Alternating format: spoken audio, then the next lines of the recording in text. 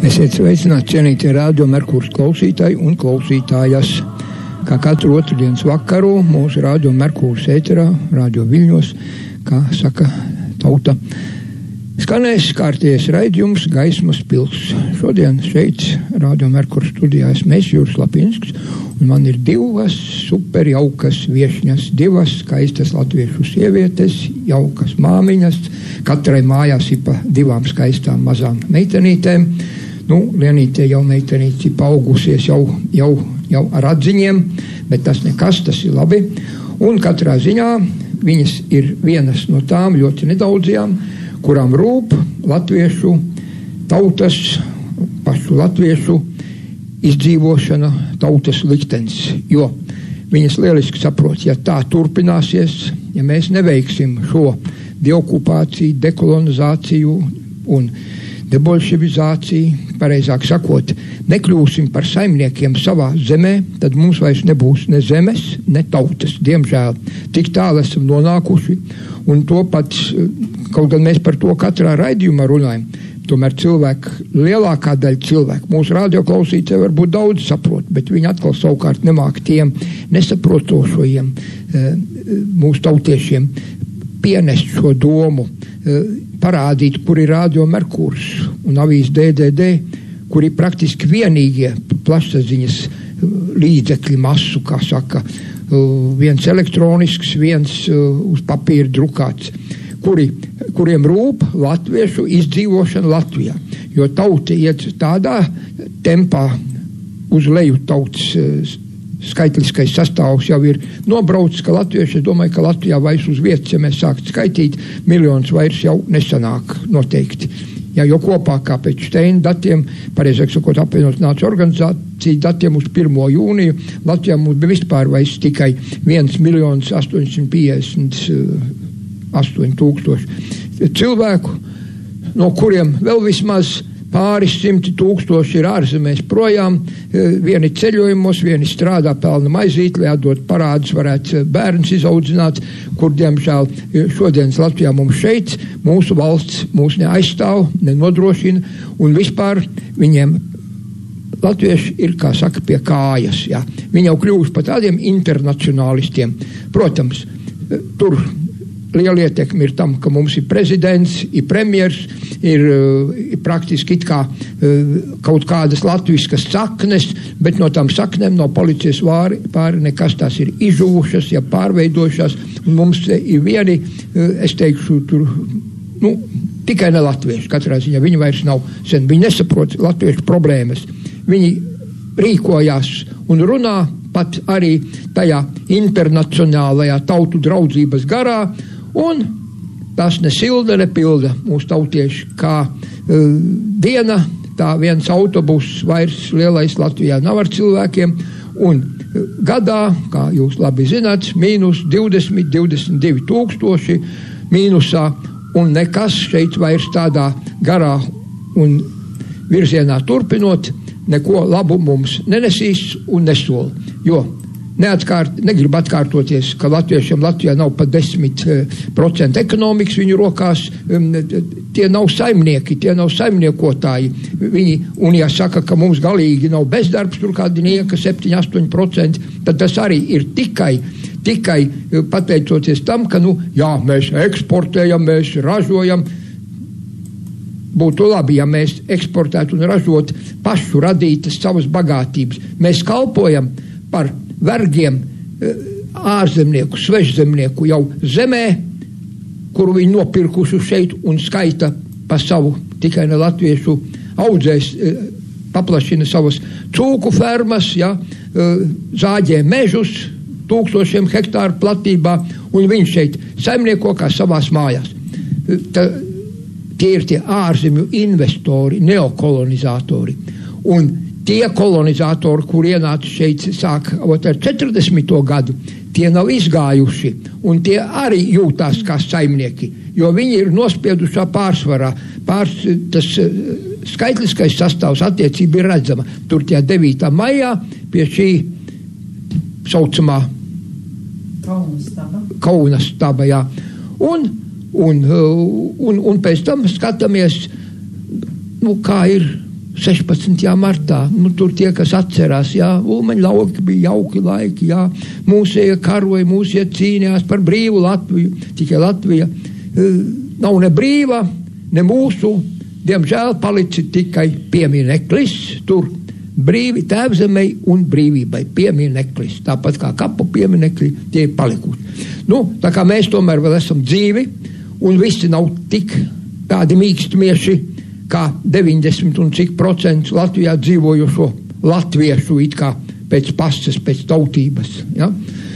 Bet, diemžēl, diemžēl, man nav pat gandrīz vai uz rādio, ko palūgt no vīriešiem.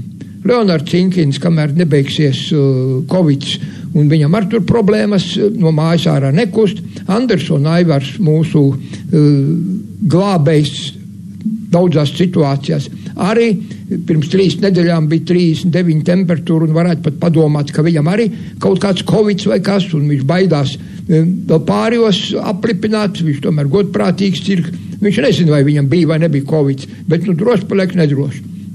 Un tā tālāk. Un vairāk vīrieši nav pat ko pasaukt. Nabaga sieviete, mājās bērns būtu jāaudzina, jāskolo. Ne, viņam jānāk klārēt tiem palikušiem latvietīšiem, kādas mums šeit problēmas, cik tālu mēs esam nonākuši, kas mums draud, lai mēs nu, kaut izdzīvot vēl, nu, gribētos nu, kaut nu, 10, 20 gadus līdz 50 gadam mēs nenovilksim, ja tādā garā turpināsim, kā to mēs darām šodien.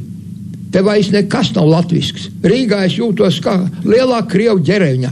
Protams, pa naudu, kuru piesūta arī dažni dažādi ārzemnieki un viss Eh, kuri te jau ir okupējuši visu to, eh, mums tās ubaga dāvans par mūsu aizbraukušiem tautiešiem samaksu, kā Steins saka, pa lēto darba spēku. Atcerieties, Steins novērtē, ka viens izglītots cilvēks Latvijas maksājot vismaz 27 miljonus.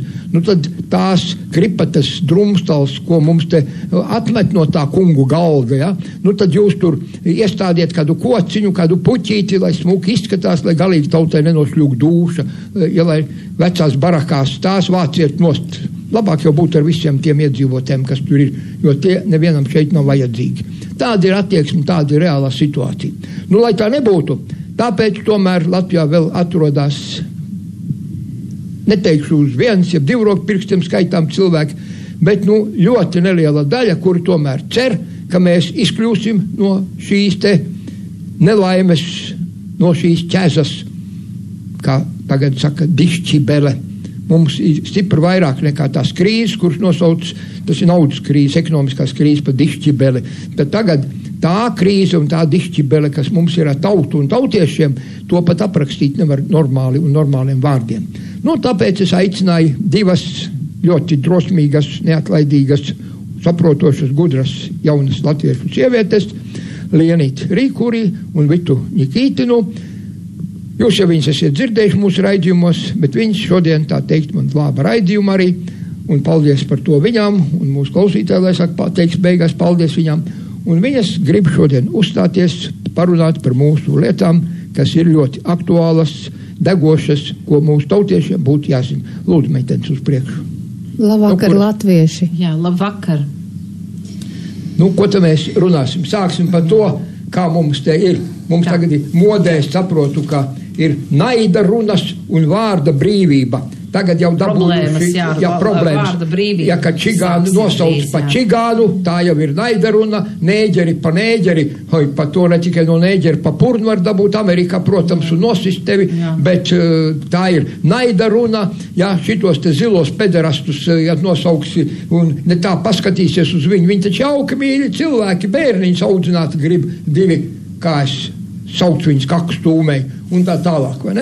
Nu, un tad redzi, e, ja tu to uzraksti uh, internetā, tad tev tūlīt izdzēš mudīgi, jo viņi tendēts žīdu nedrīkst pa žīdu saukt, okupantu pa okupantu, kolonizatoru pa kolonizatoru. Tagad ir visi ļoti gudros vārdos nosaukti, ko daudzi cilvēki pat nesaprot. Un tamdēļ tikko kā pasaka, ka augstāk savošai varai, varnešiem, varturiem nepatīk kaut kas, Tā jau ir naida runa. Jā. Pa naida runu atcerieties, tiesāja uh, li, uh, līgu muzikantu Naivaru Gardu, tiesāja uh, par, par, par patiesību, par vārdu, ko Izraels vēstniece Latvijā. Atcerieties, Jākovas, nekā viņa sauc, aizmirst, Jākovas kundze. Bija kaut kāda bin, bin, bin Jākova. Ja? Ja? Tad par to bija Leonarda Miņķinam astoņi, astoņas tiesas, lai pierādītu, ka, ēz, ka viņš nav ēzelis, jeb kamielis, un lai Jā. pierādītu, ka viņš tikai to, kas ir rakstīts tur tajos rakstos. Jā, pat jāsaka, bez maz mērnieku laikos, un nu, mūsu li literatūras arī, jā, jāsaka, jā, arī tas lādē, jā, jā. Tās jau ir naida runa, jā. un, un, un, un, jā. un tas nav pareizi, jā, tu te nekurini naidu, jā, neapvaino jā. nevainīgus cilvēkus, jā, un tā tālāk. Cik tālu mēs esam nonākuši? Ka mēs jau vairs baidamies melnu nosaukt par melnu, baltu par baltu. Nu, Jā. Jāsaka, dažādās krāsās, bet nepieminot eh, to vārdu. Varavīksnes krāsās, neitrāli, mēs tik mīksti, tik remdeni. Mēs jau esam kļuvuši par tādām paklausīgām, ar mietu dzenamām aiztām, aploku no vienu uz otru un pēc tam uz kaušanu, ka vienkārši kauns un žēl vispār apzināties, ka tā viņš ir. Jā. Bet, nu, labi, meitenes, uz priekšu. Tā tad, un, kas ir ar to naidu un, un tā, tiem? Tūlīt jūs pastāstīšu. Tā tad. Tā kā es pārstāvu Latvijas Nacionālo fronti, tad esmu atnākusi šeit kopā ar Latvijas uh, Nacionālās frontes laikrakstu DDD, paņēmusi svaigāko numuru 11.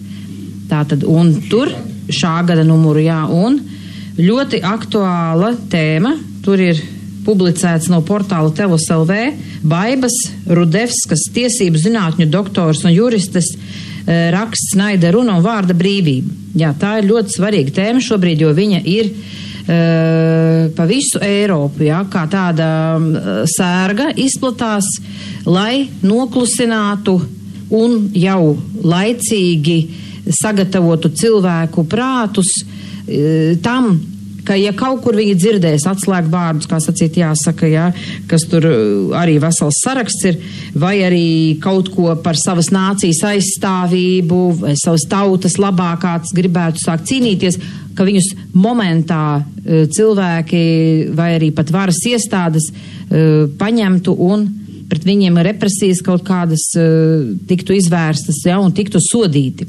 Viņi saprot, Jā. ka tad ir mudīgi jāzvana policijai, ka te viens Jā. ceļ naidarunu, brauciet šurp, ņemiet viņu ciet, apklusiniet, jo viņš naidarunas Jā. runā. Tātad, Viņam ar, rūp latviešu liktenis. Jā, šo te likumu projektu, kurus viņi tur taisās visās, jāsaka, valstīs ieviest, jā, kas civilizētajās, civilizētās pasaules valstīs, jā, la, lai jau disciplinētu pašus, eh, jāsaka, cilvēkus, tātad iedzīvotājus. Un šeit ir lielisks piemērs, starp citu, nesen noticis 2020. 21. gada šā gada, tātad 23. aprīlī. Londonas policija aizturēja, iedomājieties, 71 gadu vecu protestantu mācītāju Džonu Šērvudu un uzlika viņam pat roku dzelžus, aizved uz policijas ied, ied, iecirkni. Un tad jautājums, ko tad viņš tādu izdarīja, nabaga vecais vīrs, ja? Izrādās, viņš bija uz saliekamām kāpnītēm, stāvējis un sludinājis garām gājējiem, ka laulība ir savienība starp vīrieti un sievieti. Ja?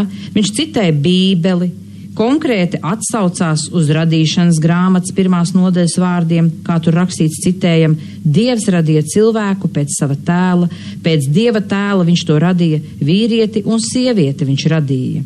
Un policisti ar brutālu spēku norāva šo nabaga veco vīru, Šērvudu no kāpnītēm, saslēdza viņu, uh, viņa rokas aiz uh, muguras roku dzelžos un aizvilka uz policijas mašīnu un aizgādāja uz iecirkņa telpām kā lielāko noziedznieku, un tur viņu ilgi tirdīja un pratināja.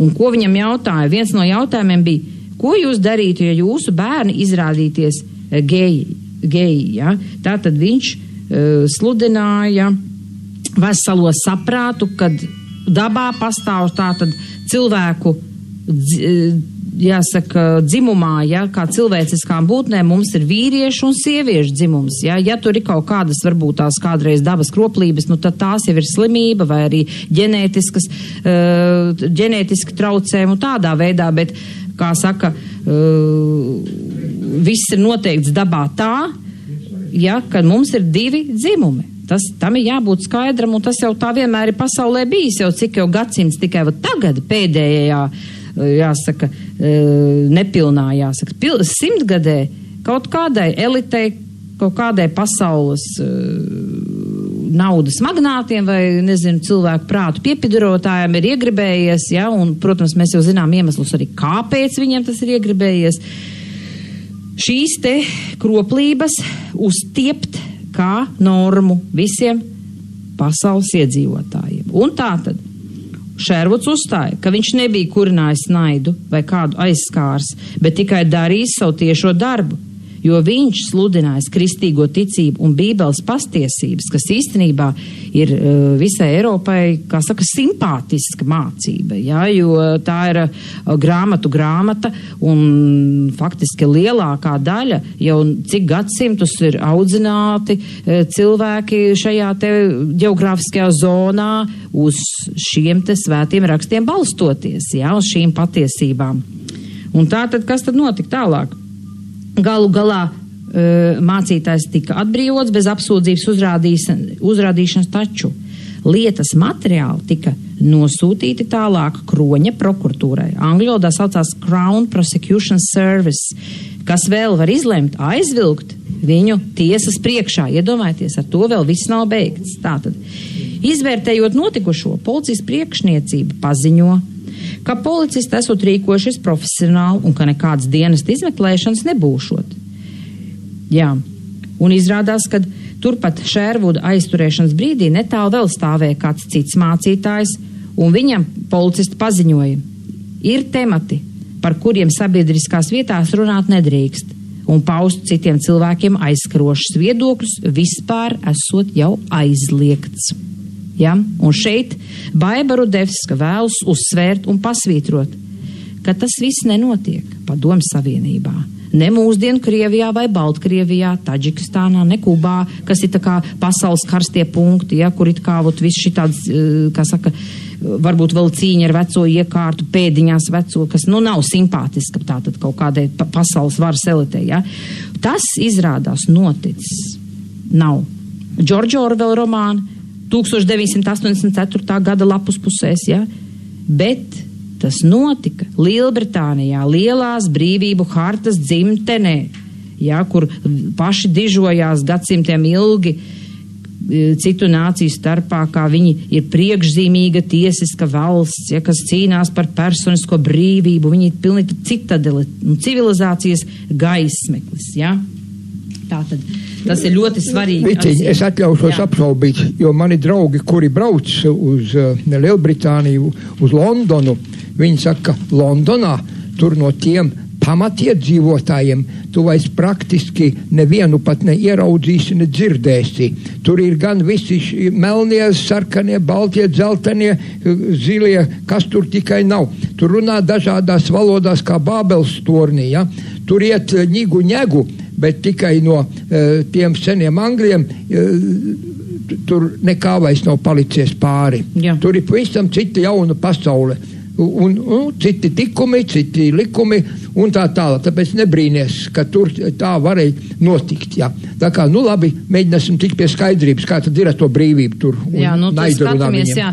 Tā tad mēs vēl varētu saprast, ja šādas te. Uh, represijas pret mierīgu savas pārliecības paušanu varētu notikt, piemēram, Maskavā, Minskā, ja, vai kādā no tā saucamās trešās pasaules valstīm. Bet uh, tas, ka tas notiek uh, šādā valstī, Lielbritānijā, nu tas jau tā kā drusciņ tādas bažas uzdzen, jā. Un tā tad izrādās, ka vienlaikus Lielbritānijā ielu sludinājumu aresti, ja, kad cilvēki mēģina uz ielām pat jau jāsaka kliegtu, nu, izteikt savus viedokļus, lai uzmodinātu cilvēkus, lai sauktu pie veselā saprāta, ja atgādinātu vērtības. Un vispār krimināla vajāšana par nepareizu pēdiņās viedokļu paušanu jau ir kļuvuši par ierastu parādību. Un citās Rietuma Eiropas valstīs arī jau ir vērojami līdzīgi notikumi, taču par tiem sabiedriskā telpā gandrīz neviens nerunā. Jāatzīst, ka šajā ziņā Eiropā un Latvijā valda šokējošs dubultstandards. Un ko es pat esmu novērojusi, ja, tā tad, ka man ir uh, teiksim, pat tātad balstoties uz šo informāciju, pamats domāt, ka Eiropas Savienība ir tāda sadalīta tādā, kā tādā izmēģinājuma lauciņa, tādā eksperimentu zonā. Arī un paramā āža ir atvēlētas valstis, kuras izpilda tāda kā paramā āža lomu, kuras tā tad e, īsteno šos te jaunos ja, e, naida runas un, un visādus citus vārda brīvību ierobežojošus aktus, ka viņi, uz viņiem skatoties pēc tam, citas valstis uzreiz nobdrab, ja, un ieraujās un saraujās, jo redz ārprāts, kas tur notiek. Pie mums tas pats labāk es sēdēšu klusiņām un, kā sacīt, jāsaka, darīšu un glaudīšu visu pa spalvē, lai, lai tikai mani neaiztiek, ja, jo nākošais varu būt es.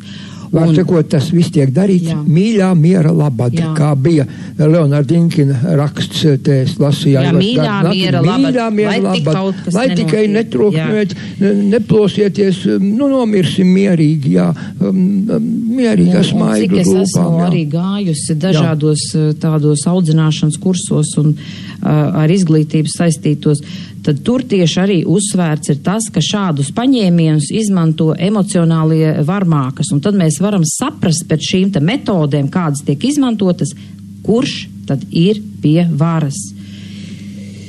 Tā tad, un vēl uh, Vaiburu Devska stāsta tālāk.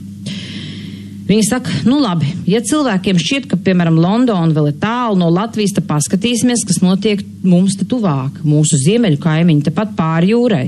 Somijā, kas notiek. Un tur arī šī gada, tātad 2021. gada aprīļa beigās, Somijas ģenerāla prokurori uzrādīja apsūdzību arī par tos moderno jēdzienu naida runu Somijas parlamenta deputātei no Kristīgo demokrātu partijas bijušajai iekšlietu ministrei, iedomājieties, bijušajai iekšlietu ministrei Peivī Resenenai par to, ka viņa trīs izdarījusi trīs it kā šausmīgus noziegumus. Tātad uzskaitīsim.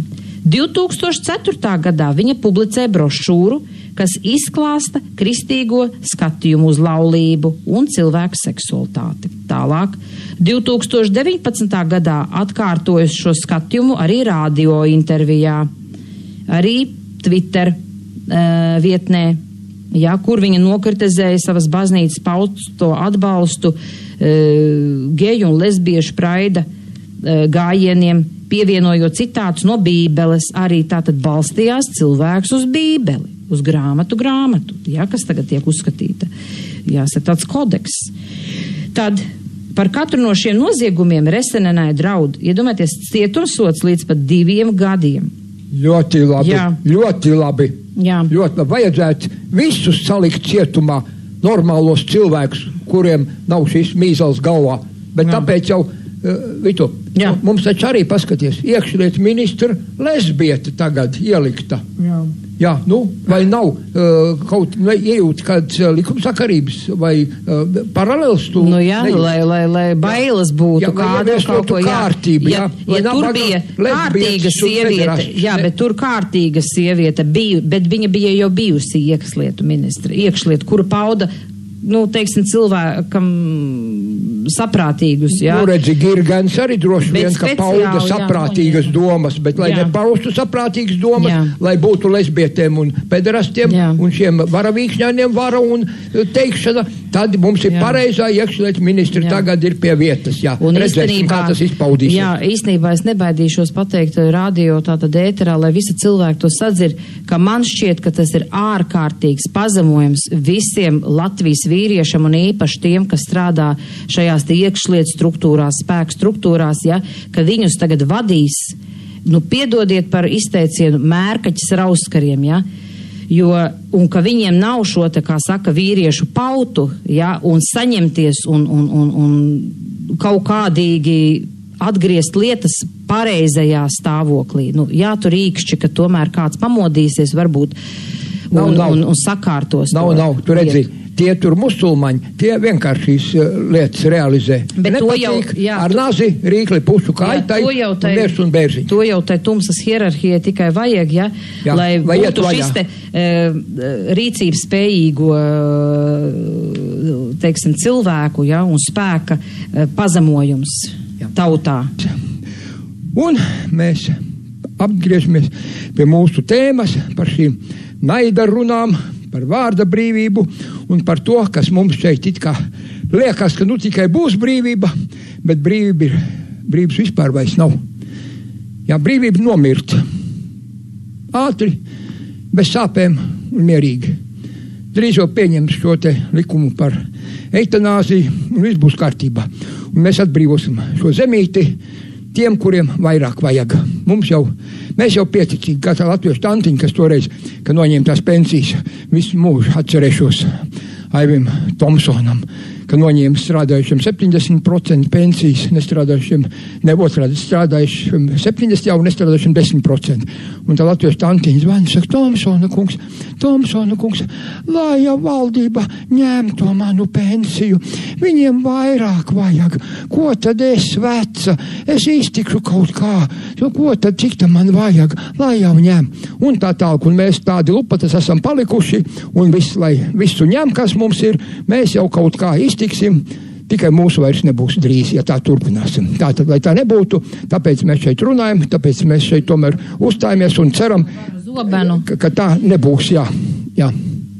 Jo tie, kas varēja pastāvēt par sevi, latviešu tautas, tie ir sen likvidēti, izsūtīti, noslepkavoti un tā tālāk. Tāpēc lūdzu, meitenes uz priekšu, ko tad, kā mums jārīkojas. Gribu pateikt par to naida runu. Pēdējā laikā, pēdējos gadus tieši es esmu ievērojis, ka no ārkārtīgi par to runā. Ir tāds ves- vesels juridisks termins droši vien. Un tāpēc arī juriste Baibru devis, ka viņi visu laiku raksta šo te mm, vārdkopu naida runa pēdiņās. Jā, tāpēc, tāpēc ka t, t, tas jau tiek attiecināts pilnīgi. Eh, Es mēģinu vienkārši atcerēties, kad tas viss sākās. Pirmo reizi, cik es, cik es atceros, eh, naida runa tika pie, pielietota tajā gadījumā, kad okupants nosauc par okupantiem. Piemēram, Juris Dobelis uzstājās sējumā ar runu, un runa, tā runāt nedrīkstēja. Ja? Un tas būtībā tas vārds okupants jau ir tā kā izskausts gandrīz vai no sabiedrības. Baidās Ne- nav- pieminēt, ja jā, nedrīkst. jau Jā, gandrīz, jau tāpat kā nēģeris. Ļoti, vārds. ļoti Jā, izskaust, un tagad galvenais tagad jārunā, un to arī tas ir iegājies, jāsaka, ir līdztautieši vai arī pastāvīgie iedzīvotāji, nu, nu, var sakot, vienkārši iedzīvotāji, tie, kas te dzīvo, ja, Latvijā. Tas bija tas pirmais, kad es ievēroju par to naidu runu, ja. Nu, burtiski tā, tiešām šis termins netiek, nu, es saprotu, ka ir tāda lieta, ka, nu, nedrīkst, teiksim, apsaukāt otru vai kaut ko tādu, teiksim, apvainot tikai par to, ka viņš tur tāds vai, vai vārds krās vai kas, bet te jau tiek apzināti tas lietots ar, ar mērķi, ar kaut kādu slēptu mērķi, kuru man, man šķiet, ka ir tāds overtona loks, kur tas ir ļoti labi aprakstīts tehno, smadzeņu skalošanas tehnoloģija, ja, kas ir aprakstīta jau pagājušajā gadsimtā, ja nemaldos. Ja. Jā, Lienīt, kad Dobels tos vārdus teica? Kaut kur 90. gadu 90. sākumā, jā? gadu, jā, un arī patiesībā vēl samērā pat nesen, viņš, kad viņš vēl bija saimā 2000. gadu sākumā, vēl uzstājās, man liekas, ar tādām runām, bet tad viņu aizlaida pensijā, un tu kopš tā laika neviens vairs neko tādu nav runājis, jā, no, no saimas. Jo arī toreiz ir saglabājušies video YouTube, kur var redzēt ar kādu attieksmi. Tika jā. uzņemta ar tādām ņirgā, nu, Jā, sevišķi saskaņas, nieva, jā. saskaņas deputāts rāda, ja tur vispār Nu, nu, glos viņš ir galvas smējās, jā. Muļķīts, nu, Jā, sajūtas, un kā tā var runāt? kiela bez Nu, nu, jā, jā. sūtāms. Jā, nu, tā, tā vienmēr ņirdz par nopietnām lietām, jā, izņirgā speciāli. Jā, un redz, kā ar tādām tehnoloģijām, tādām metodēm izskauž lietu nosaukšana īstajā vārdā. Un, un pamazām jau mainās. uh, Tātad termi, termini mainās, un mainās arī cilvēka domāšana. Vairs jau cilvēki nesaprot vispār, kas te Latvijā ir, vai ne? Liekas, ka vienmēr te tā jā, bijis. jā. Cik vienkārši var visu samainīt. Un, mm -hmm. un tas overtona loks, es jau tagad viņš ļoti spilgti izpaužās. Ne tikai, ne tikai ar tiem homoseksuālistiem, bet arī ar to pandēmiju, kas te tagad notiek. Pilnīgi skaidri un gaiši, jo viņi pilnīgi, arī pilnīgi ņem vērā, ka pūlim esot tikai divas nedēļas uh, iespēja at, atcerēties kaut ko divas nedēļas vecs notikums, vecāks notikums pūlis neatcerās, ja pūļa, pūļa atmiņa.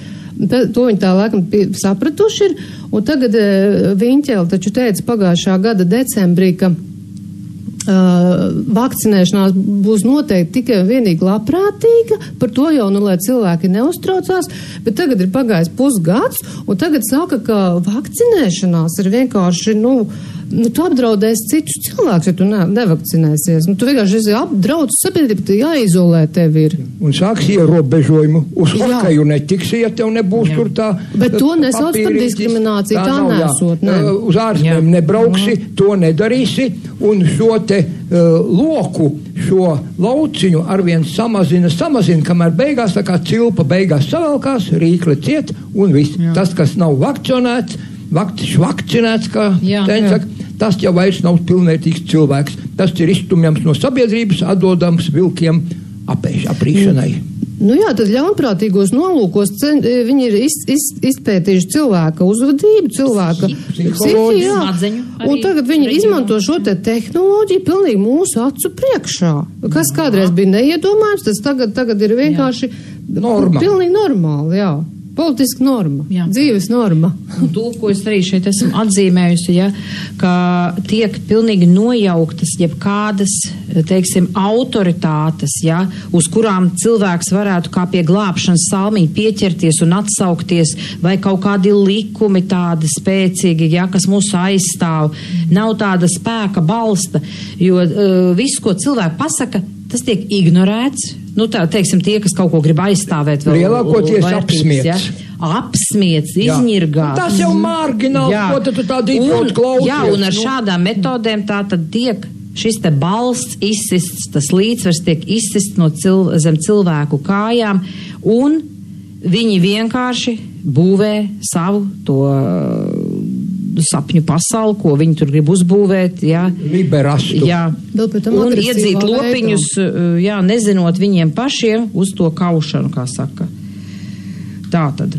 Nu, Un ko mēs te vēl redzam, jā, un kā pret to sievieti Somijā izrīkojās. Viņi tā tad ar veidē kā cienīgu rīcību okšķerēja šīs resenenas publiski paustos viedokļus, jā, un pēc tam arī tika saukta uz policiju. Ilgi, ilgi pratināta, stundām ilgi, kamēr viņai inkriminēja etniskā naida kurināšana. Nu, pilnīgi jāsaka, kā klasiskais piemērs, vai ne, Juri? Jā. Tā kā bija tajā valstī, Londonā, tā kā VDK laikos šeit, tā ir viena metode. Tiek pier, un arī pret DDD darbiniekiem tika šī paša uh, birka uh, karināta klāt.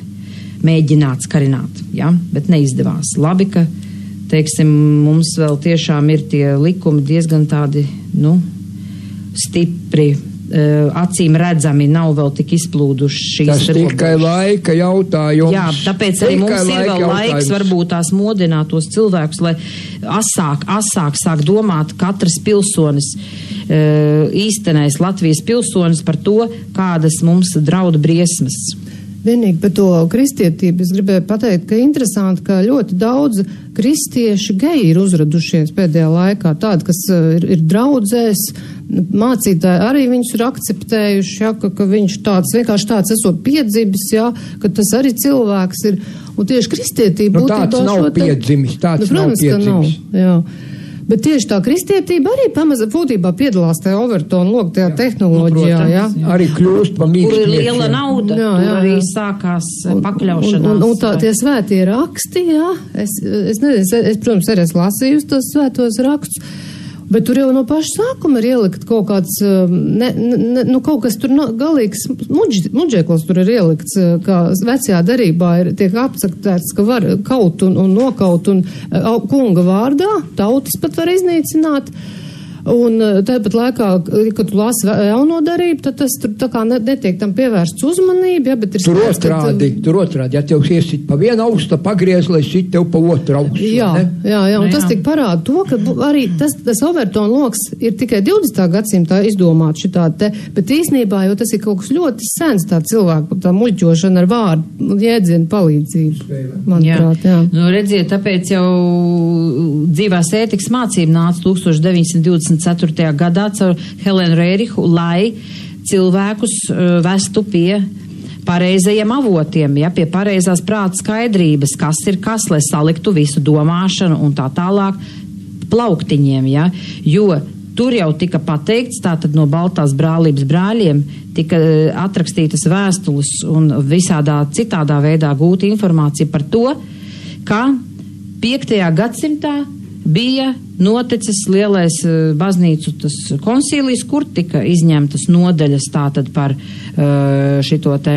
reinkarnāciju ārā, pilnīgi atklāti, noteikti teica, ka esot arhīvos uh, pierādījumu materiāli tīstokļos vai kā tur kādā formā, kur to visu var pacelt augšā un apskatīties. Tas ir viss dokumentāli pierādāms. Tāpat tām nepavelti Origens bija filozofs, ja, lielais, kas arī nāca attīrīt šos te pamatus un cilvēki mēģināja cilvēks vest pie prāta un skaidrības, kas ir kas.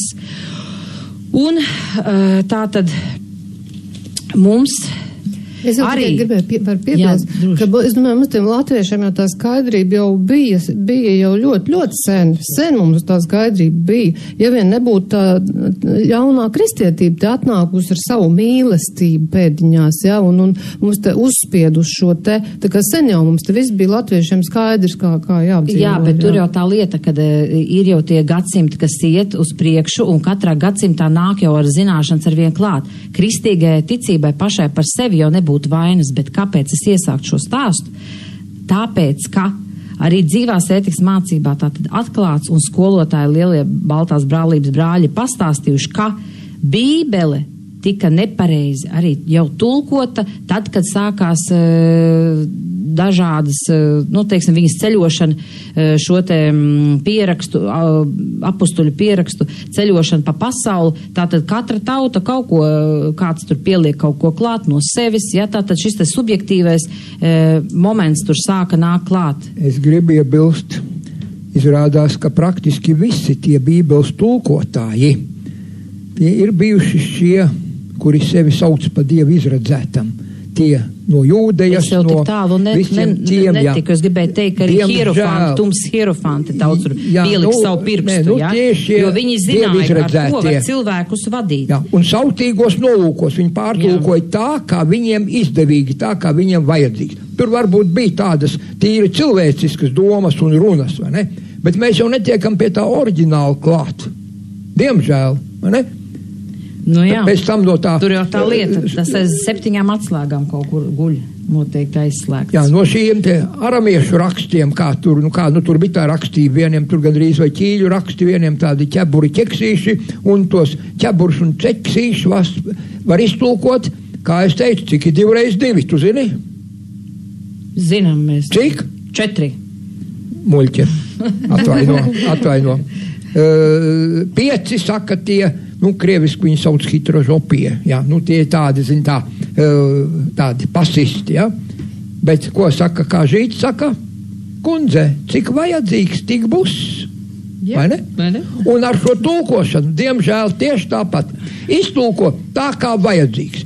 Tāpat kā pie šīs demokrātijas, pa tām vēlēšanām, saskaita tā, kā vajadzīgs. Galvenais ir nevis, kas tur aiziet, neaiziet un cik saniek, bet galvenais ir pareizi pēdiņās jāsaskaita. Jā. Tā, lai tiktu varturiem lai nespļautu bārdā, lai būtu viņiem par labu, lai viss būtu sakārtots pēc viņu priekšrakstiem. Es, Diemžēl. Es domāju, un bībelē... tāpat tās arī ar to bībeli, šī jaunā derība. Tā, tā ir īstenībā vienkārši žīdu tautas vēsture, var palasīt, apstīties, kā kādreiz ir bijis, un arī vēl nevar nu, zināt, vai tur pareizi ir uzrakstīts. Jā, eh, tās nu, ir. Tāpēc es saku, tur jau tā ir pasaku grāmata pieaugušajiem. Ir tie ugunīgie manis. vārdi, kurus nevar izdzēst, un tie tur ir. Nu labi, tās patiesības. Cik saglabājušies. Meitenes, tās patiesības patiesības ir Jā. tā saliktas, bet tikai kā viņas ir sapītas Prasmīgi, kopā, jā, jā. prasmīgi, un, un lai izskaidrotu atkal tā, kā viņiem vajadzīgs, tiem pašiem varturiem, vai ne? Jo, kā tur veidojums Edvards teica, kas var mākāms kādi dar, nosauks tie grēks, vai ne? Diemžēl. Un redzi, un lai nebūtu tādi, tā tad tiek audzināti. Un es saku, tie notikumi, kas tur ir bijuši, es domāju, ka 90 un cik 9% no tiem notikumiem tādi nemaz nav bijuši. Un ja ir kaut kas līdzīgs bijis, nu tad viņš ir tur heroizēts, aprakstīts ļoti skaisti un atkal tā kā dažiem tas ir vajadzīgs un izdevīgi. Un tāpēc ir visi šie strīdi, visa šī nesaprašanās, un kamēr šie nesaprotošie pēdiņās atkal strīdās savā starpā un pierāda viens otram savu taisnību, ka tā ir e, tā īstā patiesība. Jo taisnība katram ir sava, bet patiesība ir tikai viena, objektīva, neatkarīgi no mums. Nu, tā pilnīgi, ne? tā tad, kamēr mēs tas jā, kamēr mēs šeit iestrēguši strīdamies, kā labāk, kam taisnība, kam nav taisnība, kurš ir tuvāk patiesībai, kurš nav tuvāk patiesībai, tikmēr šie dara, slauc mūs, krāpj, aplaupa, izmanto, ņirgājās pa mums un, jā, patiešām kāds atrodas, kurš var pateikt biezu vārdu, ja to īsto patiesību pateikt, nu tad, redziet, Jēzu Kristu ar esot piesējuši pie krusta un eh, ļāvuši pārdomāt viņam tur, jā, un eh, tos, kas nav tik redzami, tos vienkārši novāc tīri fiziski. Bija cilvēks, nav cilvēks. Tur bija iekoda, nokrita pa trepēm, vai vēl kaut kāda visādi. noslīka. Pazu, noslīka, pazuda bez Netīšām, vestes, jā, netīšām, un tā tālāk. Un tad brīnamies, par ko, kāpēc, jā, bet tad ir par vēlu. Vajag visu to zināt pirms tam un nenokļūt tādās kļūmīgās situācijās. Zināt, kādas var būt sekas, uzmanīties, vienam otru atbalstīt, palīdzēt, kolektīvi turēties pretīm. Jā. Jo vienu cilvēciņu novāc tā, Jā. Ka pakaļ nedziedās patika, kā neviens. mūsu avīzes arī daudzās eh, jau publikācijās bija teikts, nevis tautai pret tautu, bet visām tautām pret tumsu. Tāpat arī mūsu visiem latviešiem cilvēkiem, ja, kas arī atbalsta Latvijas uh, politiku, mūsu, nu, to pa, pareizo, ja, par dekolonizāciju, debolšvizāciju un dekolonizāciju, kas ir mums kopā arī, ja viņš arī ir sveštautiets, kurš grib šeit palikt un dzīvot un cīnīties par latviskas kultūras uh, tēvzemē, kā saka, Latvijā, saglabāšanu un attīstību. Visus aicinu nevis vienam pret otru cīnīties, bet visiem par taisnību. Ja, jo mūsu pusē ir taisnība, visa likumdošana, milzīga dokumentu pakete, kura tikai, kā saka, jāliek ir galdā. Nu, ja un arī katram nav- savā sirdī un prātā. Nu, ja vairs nav daudzi panti, vairogs. da, daudzi panti ir pārakstīti un nav tā ar Bet to to visu var likvidēt, ja nāk Protams, pareizā vara. Protams, Arī daudz ko var nacionalizēt, Pāris- atņemt, tikai tas ir liels darbs, bet par to mēs šobrīd jā, nerunāsim. pāris minūšu laikā to var Jā. izdarīt.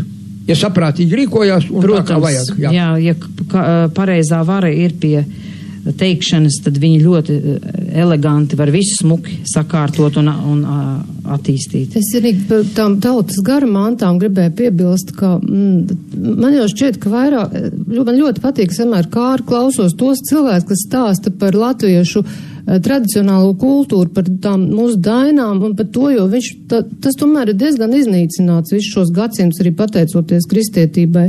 Jo, man liekas, katrs, kurš ir braucis apkārt pa Eiropu, vispār pa pasauli, Tas taču ir tik uzkrītoši, ka visur ir kristīgās baznīcas. Nu, kā tas var būt? Ir tik dažādas tautas, un visur ir viena un tie paši krusti. Visi, nu, kā? Vai tad tas ir pilnīgi skaidrs, ka tas ir mākslīgi un ar varu? Jā. Un cīņa par pasaules varu. Jā, Tā jā. pati globalizācija. Un, un vēl pēc tam. Tikai idejiskā līmenī vispirms. Jā, jā, un vēl pēc tam es taču skaidri arī saprotu, arī klients to man šķiet, ka uh, kristietība jau būtībā pavājina tās tautas, jo vi, viņa ieborē tām tautām to, ka ir viena izredzētā tauta. Tā, tā, ka tur rakstīts tajos svētajos rakstos, un tas tā kā tiek ieborēts jau kā zemam, nu tā kā asinīs, ka tā ir un visu ar to jāsamierinās, ka tas tā normāli Jā, ir. Jā. ka mēs esam sliktāki, dumāki un mums tikai pa kalpiem vieta. Jā, jā, un, un tas tur diemžēl rakstīts, un tie, tie kristieši būtībā, un tas viņus novājina un tā kā deģenerē. Jā, da- gribēju kā tādu jā. nelielu uh, reklāmas atkāpīt, ja, ka izdevniecība Viedi savulaik izdeva uh, Aleksandra uh, Klizovska grāmatu jaunā laikmeta pasaules izpratne. Un tajā ir ļoti brīnišķīgi izskaidroti visi šie aspekti ja, par to, kā kristīgā ticība arī, nu, teiksim, tika apstrādāta, jā, un kā tumsas hierofanti darbojās tieši ar šiem tad kristīgās ticības visādiem tur ieročiem, kā saka, un jezuītu, par jezuītiem, kuri arī ļoti daudz ko pabojāja kristīgās ticības tādā uh, slavā ļoti brīnišķīgi raksti ir arī Helēnai Blavatskai tikai jāņem un jālasa gan angļu valodā, gan krievu valodā, gan citās pasaules valstīs. Nu, latviešu valodā, diemžēl, nebūs tik daudz, vai arī vispār pat vēl nav. Ah, un vēl par, vēl, vēl par šo dotu, kur tas overtona lokus radies un vispār kāpēc tas viss nu, pasaulē notiek, ja? Nu, kā, es tagad arī vēroju, nu, kā var izskaidrot ar kādu kaislību viņi to visu dara. Nu, kaut vai, Nu, viss tie, tie tas viens procents, kam pieder tās pasaules bagātības, Jā. kas te visu organizē mums. Kāpēc viņi to dara? Viņi taču arī saules mūžu nedzīvo. Viņi kā paši saprot, lavē kaut vai viņi simts gadus tur notiek, tāpat viņi aiziet aizsaulē un viss. Ja? Bet viņi tā kā tādi apmāti to dara. Un Jā. jau gadu tūkstošu garumā. Un, nē, tā ir tā, un tas nav tā vienkārši, nē, tā nav mankārība, tā ir kaut kāda reliģiska kaislība. Vienīt, nē. Arī man uz to ir atbilde, ja kādam vienīt, interesē. Jā, nu atbildi, tad jā. es pateikšu. Uh, tas arī ir Baltās brālības brāļi, uz to ir arī devuši atbildi, kas arī pat ir nopublicēta tātad gan dzīvās ētikas mācībā, un tur ir rakstīts tātad tā kā laiks patiešām jau ir pienācis, es visiem tad radio raidījumu klausītājiem pateikšu, jo es jau to jau esmu kaut kad minējusi. Tas ir tāpēc, ka viņu vadonis, tumsas hierofantu, tātad vadonis, tātad kritušais eņģelis Lucifers, lai cik tas fantastiski izklausītos, bet tā ir patiesība, tātad viņš tika padzīts no saules sistēmas. Nu, viņš jau kļuva kā sātans, kad ir kritušais eņģelis, viņa vārds nomainījās no Lucifera uz sātans. Viņš kļuva. Un viņš tika no saules sistēmas padzīts. Uh, precīzi neatceros, vai tik tas nebija 1949. gads. Nu, lai mani palabo kādreiz mani draugi.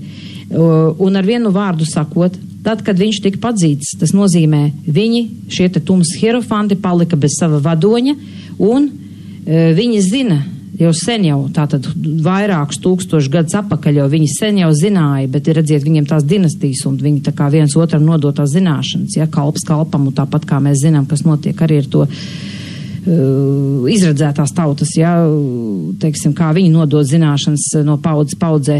Un viņi jau sen jau zināja savu likteni, ja, kad nāks jaunais laikmets, nāks šis ugunīgais laikmets ar to lielo attīrīšanu, graudus atšķiros no pelavām. Un viņi zināja savu likteni, ka viņi aizies kosmiskajos atkritumos. Bet Viņi arī ļoti labi pārzina uh, šos te kosmiskos likumus, pat labāk nekā mēs, uh, teiksim, vienkāršie parastie cilvēciņi, mirstīgie dieva radībiņas, ja, un viņi zina to, kā var paildzināt kaut cik vēl savu eksistenci. Un tāpēc viņu mērķis, kāpēc viņi tik uh, dedzīgi darbojas, viņi zina, ka laika vairs nav daudz, jo tas ir ļoti tuvu. Visas šīs īpatnējās laika uh, izmaiņas, kas notiek uz planētas, ja, tad te augsta, te karsts un visādi dīvaini tādi, kad tas jau parāda to, ka nāk jau jaunas strāvas uz mūsu planētas, jo mēs arī esam visuma sastāvdaļa, un viņi zina, kā var paildzināt savu eksistenci, viņi vēlas, radot nekārtības, uzspridzināt zemi,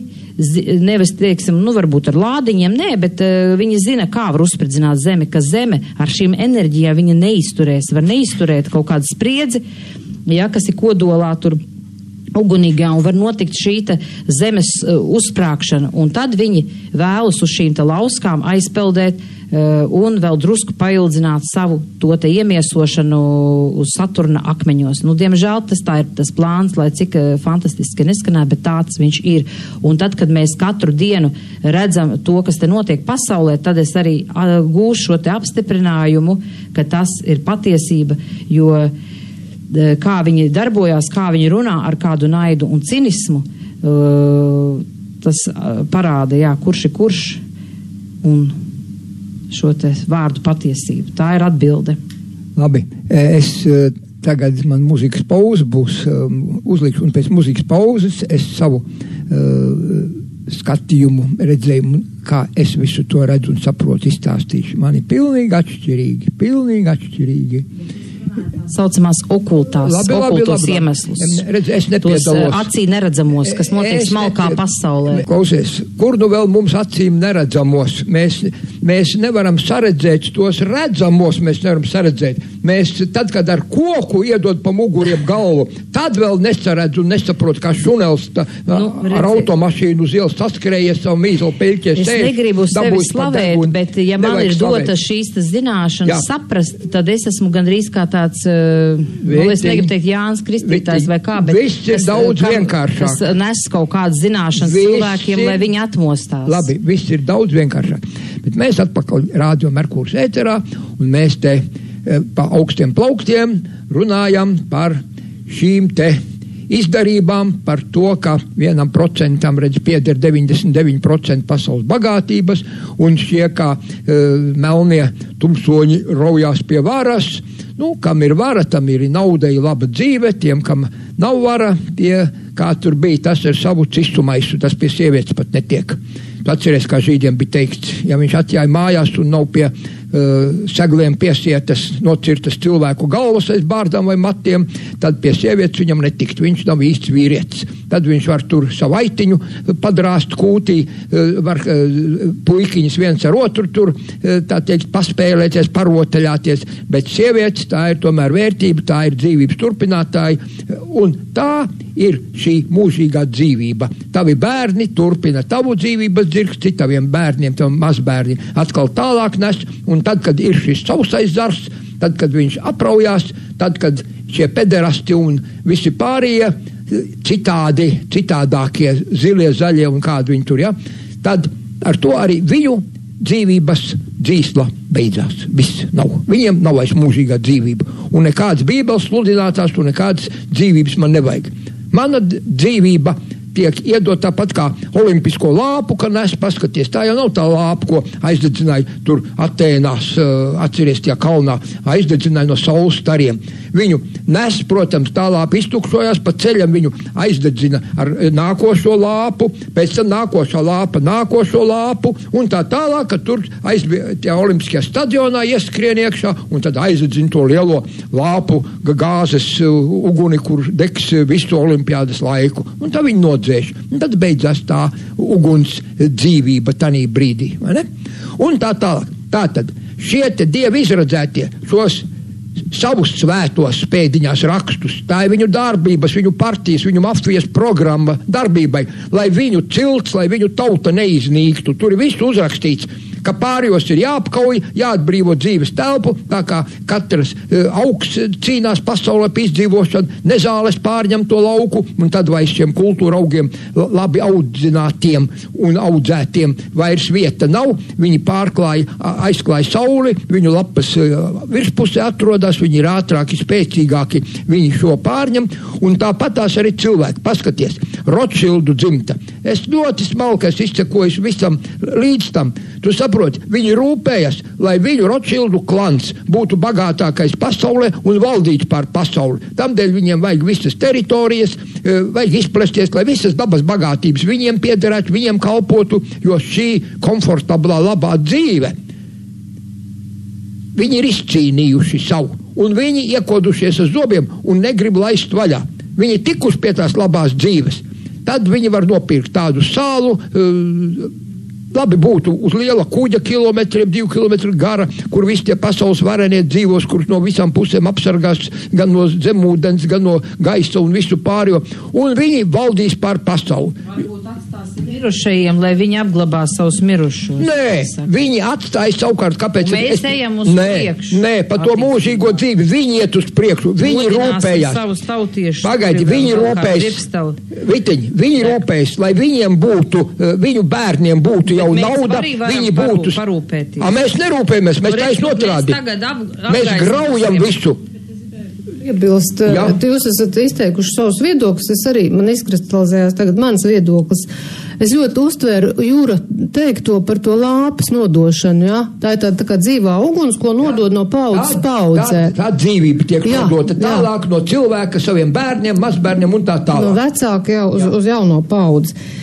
Bet mums, mums, mūsu tautai, diemžēl, tā, tā lieta ir iz, kaut kur iznīcināta, nu, tā kā sabojāt. Mēs neesam saņēmuši no mūsu senčiem normālā veidā tās, tās gudrības, senču gudrības. Mēs neesam to saņēmuši, ja? Un ir taču skaidrs, ka tauta, tauta kura nezina, neapzinās savu pagātni vai pat vispār noliedz savu pagātni, tā, tā nav nākotnes. Un tautai, kura, kurai samā, samaitāja jaunatni, viņas jaunatni, tā, tā, tā, tā, tā tautai arī nav nākotnes. Tad tādi jaunieši, kas vispār neko nezina pa iepriekšējo dzīvi, nav nākotnes. Un tad es pavisam nejauši, ko es arī gribu pieminēt ka es arī sāku skatīties, nu, klausoties radio Merkūrs, ka te tika piemin, pieminēts tāds rabīns Buločņiks, ja, un es arī mazliet paskatījos, lai ielūkotos mazliet tajā pasaulītē, kas viņiem tur ir. Un viņi taču tās gadu tūkstošu vecās gudrības nodod paudzi paudzē, tas, kas mums ir atņemts, to viņi praktizē tūkstošiem gadu vēl šodien. Jā, un katru sestdienu viņiem ir sabats, un Jā. viņi iet savu toru talmūdu lasīt tur mācītais. Tas ir viņu rabīns, tulkojamais mm. skolotājs un tas savus tautiešus katru sestdienu. Nevis brauc uz jūrmālu, sildīt vēderu un vēl visādas dumības un tur dzerstīties pa krogiem un vēl ko nezinu. Bet jāiet uz sabatu un jāmācās ir Tora, Talmuds, viņu vecās Jā. zināšanas, lai tas Jā. būtu smadzenēs iekšā. Un kuram nav slinkums, var katrs paskatīties YouTube, viņi, viņi ļauj skatīties. Viņi jau saka, nu nevaram, jo mēs te visu atklāt runāt, goji jau arī skatās, ja, bet šo to mēs tomēr drīkstam paskatīties tajā, tajos raidījumos. Bet tas ir ļoti iespaidīgi, jo es domāju, vajadzētu, ka latvieši studētu savas gudrības un mācītu skolās. Kādreiz esot bijuši padomu laikā baltās stundas, kur mācīja latviešu tautas folkloru, bet īsu brīdi, to man mamma kā skolotāja zināja stāstīt. Mūsdienās vispār vairs nekas tāds nav. Nu, teikt, cik varbūt literatūrā kaut kas tur ir ierakstīts, ka kaut kādas tautas dziesmas cicētas vai pasaciņas, jau, un tas ir viss, bet nav tā visa tā gudrība, kāda mums kādreiz bija, di dižajām senajām baltu tautām, tas mums nav. Šī ir konkurences cīņa. Ja pacelt ārā tās cilvēciskās vērtības īstās un lielās gudrības visu, tad tās nepiederēs tikai šiem te dievu izredzētajiem. Un tad viņi vairs nevarēs pār mums valdīt, jo mēs būsim līdzvērtīgi. To nedrīkst pieļaut. Viņa izpratnē mēs esam tikai divkainie lopi, kuri mums atvēlēti loma viņiem par kalpiem. Katram žīdam, atcerieties, bija jābūt 2800 divkājai no lopu, eh, kas viņus apkalpotu. Tas ir viss kopējs apkalpošanas. To viņi nemaz neslēp, to var to viņi neslēp. Ne, jā, viņi rāda to, cik tālu, redzēt, mēs esam jau tikuši. Mēs jau, jau, jau praktiski visus tos savus mērķus, kas ir nosprausti tur tajā. Sauc sev pa izredzētajiem, pārējos pa gojiem, viss ir ļoti atklāt. par jā. cilvēkiem pataisīt viņu acīs tikai zināšanas un, un, un, un cīņa par savām tiesībām. Tā kā tu ar taisnu mugurkaulu stāsies viņiem pretī ar saviem argumentiem, tad arī viņi, e, teiksim, pat lielākajā ienaidniekā var gūt cieņu. Redz, padomie bija žurnāls, atceries, znaņies, sīla, zināšanas, tas ir spēks, vai ne? Diemžēl. Mācīties, jā. mācīties, mācīties, mācīties. To Ļeņins atceries, kad viņš to teica. Nu, kad tieši es to ne, 1920. gadā, 3. Viskrievijas eh, komjaunatnes eh, kongresā, sajietā 2. oktobrī, eh, tur viņš Kolosām. stāstīja pat tagad pa visu zemes elektrifikāciju, viss būs tik sarežģīti, un lai jūs jaunieši ar visu šo elektrifikāciju un gudrām lietām tiktu galā, jūs galvenais vienīgais uzdevums ir mācīties, mācīties, vēlreiz mācīties. Tieši tā arī Ļeņina mums. Vārdi tur tajā kongresā. Es no galvas zinu visus šos citātus un Ļeņina rakstus, jā. jā. Tā tad. Ņemiet par labu. Baiba Rudevska tālāk, viņa savā rakstā mūs arī brīdina, saka? ka drīz šādi incidenti, kā notika uh, Somijā un Londonā, kas viskaļāk izskanējuši pagaidām, uh, var notikt arī drīz pie mums Latvijā. Klausies, jo, pie mums notika? notikās jau līgu muzikantu Aivaru Gardu, Leonardu Dinkinu un vēl daudzus Jā. citus jau tiesāja, cik tiesas izgājuši, jāpierāda, ka tu neesi ēzels vai kamiels vai vēl nezinu kādas dumības. Jā, tikai, Jā. kad lietas ir tik acīm redzamas, ka tur nevajag nekādas ne filozofijas, ne balts, ne melns grāmatas, ne maģijas, neko. Tas ir acīm redzam, pilnīga dumība. Nu, tad tiesnesis, lai tiesnesis nesāktu rādīt ap pirkstiem uz ielas un kaunināt, ja? nu, tad, nu, tad, nu, nu, jā, nu, pret, nu, nu, jā, nu, jā, nu, jā. Nu, labi, ka mums ir šāda viena krietna juriste, kas uh, varbūt citam arī vēl kādam. Jā, nostādīja lietas savās vietās. Jā, pastāsta, jā, no savas profesijas, teiksim, skatu punkta, jā, kādu bīstamību tas var nest. Un tā tad viņa pastāsta, ka 2021. gada 26. aprīlī, burtiski divas dienas pēc šī mācītāja Džona Šērvuda atbrīvošanas no policijas āresta telpām Londonā, uzreiz mūsu septiņi saimas deputāti iesniedza saimas prezidiem izskatīšanai likumprojektu par grozījumiem Latvijas Republikas krimināla likumā. Iedomājieties! Ar 6. maija balsojumu tas tika nodots komisijām. Un šis projekts ievērojami paplašina iespēju saukt cilvēkus pie krimināla atbildības un sodīt viņus par publiskajā telpā paustajiem viedokļiem, ja šie viedokļi iziet ārpus valdošās elites pēdiņās likts, ja, izpratnes par to, kas ir pareizs un pieļaujams. Iedomājieties, ja tagad pie varas ir fašisti, un viņi teiks, mums nepatīk tas, ko tur runā, mēs paņem, mūs paņem ciet. Būs pie varas komunisti, viņiem nepatiks, saprotiet, kas notiek. Un arī šitie uh, ramdenie, jāsaka, kas tagad ir pie varas, viņiem kaut kas nepatiks. Viņi uztaisa tā, tā tad, lai arī mūsu varētu saukt pie krimināla atbildības par biedu pārējiem, lai tikai sēž klusiņām un nespirinās. Un vai, viņi mūs vedīs kā lopiņus paklausīgus uz Klausies, vai tik traki lai pataisītu pa, uh, Vitiņ, pasaules vitiņ, pilsoņiem. Vitiņ, redz, es nemaz nebaidos. Es varu atļauties runāt patiesību, to, ko es zinu, to, ko es gribu runāt. Un, ja man draud ar cietumu, es, eh, tu zini, uz padomu cietumu es aizskrietu tā kā Helmuts Balders atceries, kad uh, Rīgas Dināmo sasita Ķihano vadībā um, um, Maskavas CSK 4-0. Tur atmosfēra bija tāda, pēc tam, ka cirvi tu vari šitā rokā pacelt gaisā, atlaid roku vaļā, un tas cirvis paliek karajoties tur. Un tad Helmuts Balders noskrēja ar slidām uz purgaliņiem, tā kā daļslidotājs. Viņš jau bija sākumā daļslidotājs, vai ne, iemācījās slidot kārtīgi. Noskrēja šitā augstu celdams kājas, kā jauns kumeļš. Ja? To e, cimdus nosvieda aiz borta, kļusku uz ledus, jeb otrādi, un noskrēja no laukuma pēc šitās uzvaras. Ja? Tad redzi, es šitā te e, gandrīz vai gribētu aizskriet uz padomi cietumu, kurā es pavadīju stingrā izolācijā vesels astoņus mēnešus. Atceries, ka man te e, gribēja mācīties. Nu, godīgi sakot, negribēju mācīt, bet tikai, nu, redzi, lielākā problēma bija, ka nu, es nemācīju iebāzt kabatā kukuli. Es nebiju kukuļu devējs. Ja es būtu kādu uh, žiguļu cenu apmēram uh, žēlīgi atvēlējis šim pašam uh, spuļģimants kompānijai un vēl dažiem biedriem tur, kas man tur taisīja tās kratīšanas, tad varbūt, ka visa lieta būtu arī lēnām nogājusi uz gruntu tāpat, vai ne? Un tā tad, tu saproti, Jo tur, e, tajā cietumā, padomi, es ēdu un dzīvoju labāk nekā 90% pašlaik brīvībā dzīvojošo. To skaitā es pats. Vai patīk jums, vai nepatīk. Jā, Tas ir viens. Un tur Tur es varētu kautēt tiem cietumniekiem, jo cietumā puse jau nav pelnījuši vismaz cilvēki, kas tur sēž, nav pelnījuši to cietumu. Nu, bet cietumā sēdēt ir liela greznība, to nevar atļauties cilvēki, jā, kuriem ir bē, mazi bērni. Jā, pat tevi rūpējās, tev ēst, dod, tevi izguldina, ja ved uz pirti, zini, nu, vispār nav slikti, es tev teikšu. Nu, šajos laikos esot bijis sliktāk gan, vai ne, tur, ja tev nepienes no mājas, tad tur tā, tā iztikšana ir tā, kā ir.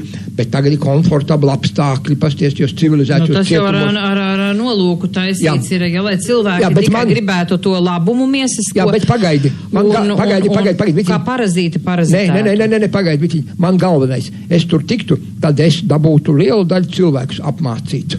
Jā, tad es varētu viņiem izstāstīt patiesību, jo tur klausās cietumā lielākoties ir nopietni. Gari cilvēki. vakari. Jā, gari eh, vakari, jā, un, un dienas, jā, vēl kāds laiks, un tad var tā lēnām iepravīt viņam galviņā. Nē, ja kas ir politiski lūdzīt, ja te jā, bet nē, nē, nē, nu nav nekādi bandīti, tu saproti, nu ko tu pa bandītiem, eh, tie, kas ir tādi īsti bandīti, tur izvarotāji. Nu, kā nu, izvarošana, arī nu, kas tas sevišķi tur, nu, protams, tagad pēc civilizētiem likumiem Tu zini, nav tā zolīda, zini, krist virsū otram cilvēkam, meitenei, sievietei. Nu, nav zolīda, bet, nu, e, kāpēc tas tā notiek? Nav sievietes priekš viņiem. Atceries to man teicienu, cik kārtīgam vīrietim drīkst būt sievietes, zini?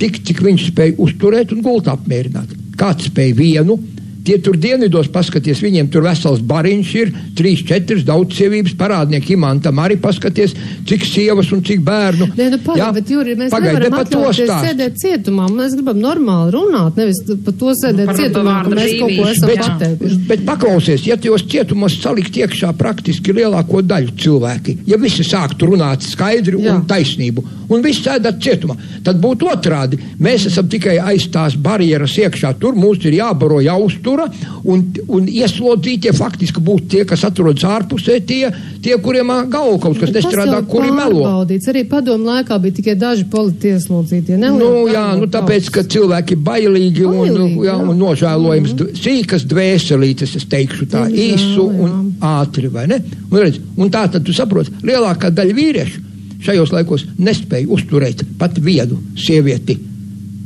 un gultā apmierināt. Vienu nespēja, diemžēl. Melki pašļivnaši vekļuģiški, kā Lukam Muģišķovā teikts, vai ne? Sīki. Viņš knapi savu kailo dzīvību spēja izvilkt un uzturēt sevi pa kaut kādām kapējām. Paskaties, visi tie, kas te vazājās apkārt, lasa činčiks pa miskastēm, zin, gribās uzpīpēt, nevar nopirkt sev cigaretes. Nu, nu nav viņiem līdzekļi, nemazgājušies, drēbes nemazgāts gadiem. Tad nu, tas ir tas iemesls pakļauties, vai ne? Nu, jā, viņš nav spējīgs. Vi- Ne, viņš nav spējīgs vispār, viņš ne uz ko nepretendē, un viņš nav spējīgs savu dzīvību nodrošināt, nerunājot jau par to, ka savu dzīvību turpināt savos bērnos un tālāk, tālāk uz priekšu nākotnē. Tu saproti, lai šo mūžīgo dzīvību saglabātu.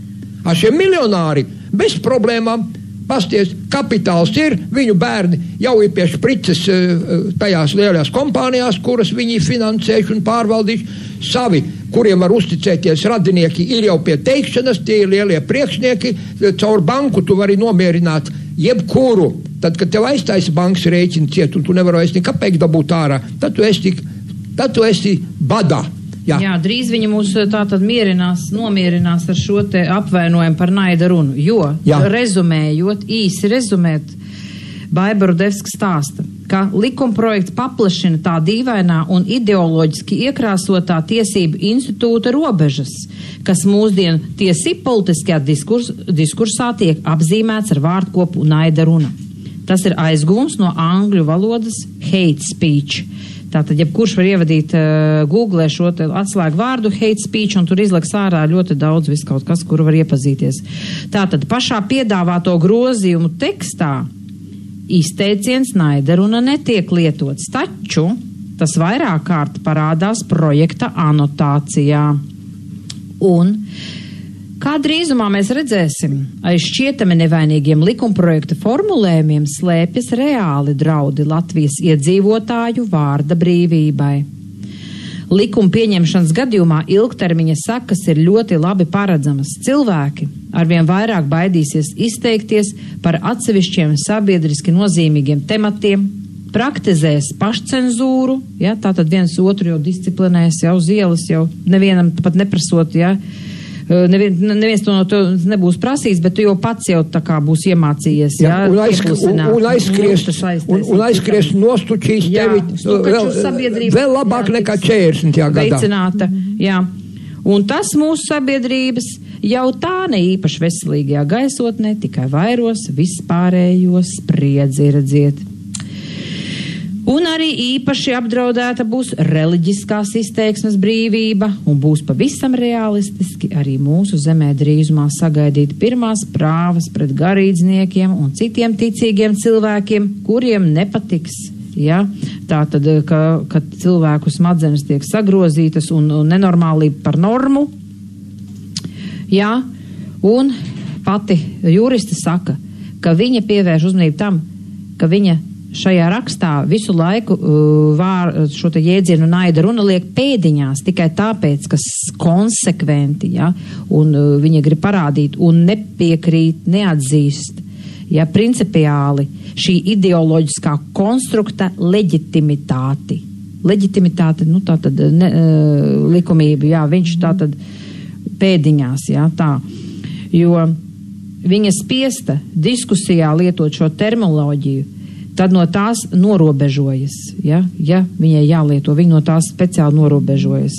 Tas pats attiecas uz tādiem ideoloģiskiem konstruktiem, kā piemēram emocionālā vardarbība, seksuālā orientācija un tam līdzīgi. Jā. Mēs turpināsim eh, šo pašu tēmu, vēl neesam izrunājuši, jo, redzi, izvērtās stipri plašāk nekā mēs sākumā bijām domājuši. Ja? Jo Jā, ir tik daudz ceļa. visādas nianses un, un dažādi varianti.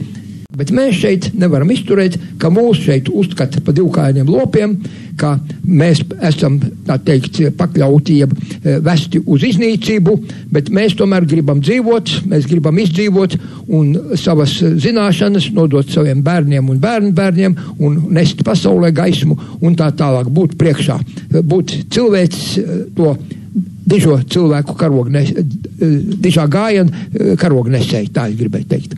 Un tā tad uz priekšu lūdzu, Vita, ko tu tur vēl, ko profesoru uzrakstījusi? E, e, tā tad Vaivuru Devska, jā, viņa tālāk stāsta, ja, ka šāda veida visādi likumdošanas iniciatīva ir ne tikai bīstama, ja par to naidu un runājot, bet viņa arī ir nesavienojama ar patiesi brīvas un demokrātiskas sabiedrības pamatprincipiem. Ja? Un tad viņa saka, arī tad, ja šis konkrētais projekts saimā netiks pieņemts, bet tad tie saucamie progresīvie spēki nerimsies savos mēģinājumos vēl vairāk ierobežot Latvijā vārdu brīvību un turpinās iesniegt līdzīgus priekšlikumus Tādēļ ir jārunā nevis vienkārši par viena vai otra likuma projekta eh, kaut kādiem trūkumiem, bet par naida runas jēdzienu kā tādu. Ja? Un vēl viņa stāsta to, ka viņa pamanījusi, ka mums Latvijā ir sastopams tāds valdošais, uh, dīvains tāds kā uh, tāds sērga atkritumu kastes mentalitāte. Ja? Kas ir raksturīga mazatīstītām kolonizētām ciltīm attiecībās ar kolonizatoriem un tā saucamajiem pēdiņās kultūras nesējiem. Ja? Jā. E, par atkritumu kastes mentalitāti Baibaru Devska sauc vēlme nekritiski pārņemt metropoles, Jā, tātad kaut kādas lielas, eh, teiksim, Kremļa vai nezinu, kas tur Amerikas, eh, kaut kādas, nu, teiksim, kas tur kakla kungu dzīves modeļus un aksesuārus, lai ciltsbrāļu acīs izskatītos kā īsts civilizēts cilvēks. Piemēram, izvilkt no atkritumu kastes uh, lielā baltā kunga izmesto saplēsto nosmērēto cilindru un lepni to uzstīvēt sev galvā. Ja? Naida runas apkarošanas jautājumā Baiba Rudevska redz tieši to pašu parādību. Ja? Naida runas likumi ir tikuši pieņemti un nu jau labu laiku darbojas daudzās civilizētās rietumpasaules valstīs. Un to praktiskais rezultāts ir kristāli skaidrs. Tie gandrīz vienmēr un visur ir pieņemti eh, piemēroti tikai tā saucamajiem ekstrēmi labā, labējo un aitpilno viedokļu apkarošanai. Ja?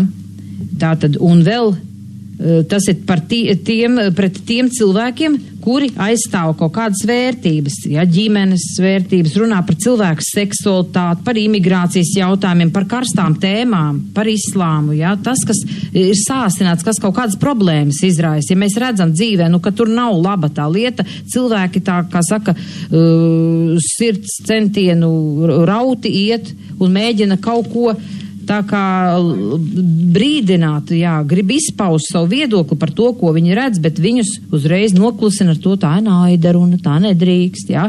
Un te ir ļoti svarīgs fakts ko atzīmē Baiba Rudevska, ka 2016. gadā britu jurists un pētnieks Pols Kolmans, Paul Kolman, publicēja grāmatu Cenzēts, Censored, ja, tātad cenzēts, kurā ietvertā Ietvertā konkrēto lietu analīze pašā uh, pavērš šokējošu ainu. Izrādās, ka, ko šis zinātnieks ir izpētījis, ka praktiski visās Eiropas valstīs, kurās ir noteikta krimināla atbildība par naida runu, attiecīgās normas tiek izmantotas gandrīz tikai tādēļ, un uzmanīgi klausties, lai neopolitkorektu viedokļu paudējus, tātad lielākoties kristiešus un konservatīvi noskaņotos cilvēkus saukt pie atbildības. Ja?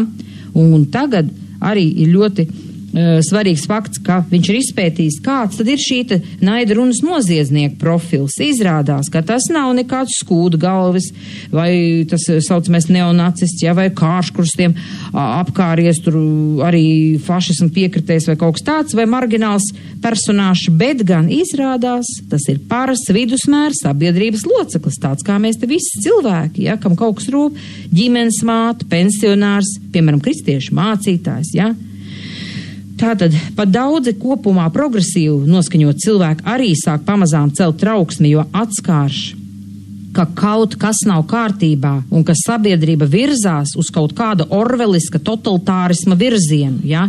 Un tieši tagad, kad pašās attiecīgajās rietumu valstīs naida runas likums un to piemērošana sāk arvien vairāk kritizēt un apšaubīt to lielderīgumu. Mums pēkšņi ir jākāpj uz tā grābekļa un jāievieš tāds pats ir Latvijā. Ja? Viņa tā kā sašutusi. Mums tas nav īstenībā jādara, bet redziet, mums ir tas uh, mistkastes, atkritumu kastes mentalitāte. Ā, rietumos tur tas, jā, mums visu laiku jāpārņem no tā augstā kunga kaut kādas tādas, teiksim, manieras un uzvedības manieras un it kā labie likumiņi, kas mums var palīdzēt. Ja? Bet es teikšu tā no savas puses, ka man tas arī izskatās pēc tādas vienotas uh, kārtības ieviešanas visā pasaulē, ka tas ir tāds atkal mājas darbs, kas ir jāizpilda ja mūsu valdībai, lai mēs tā kā tajā Eiropas saimē tur labāk iekļautos un tajā jaunajā pasaules kārtībā, ko te pasaules elita grib mums uztiept.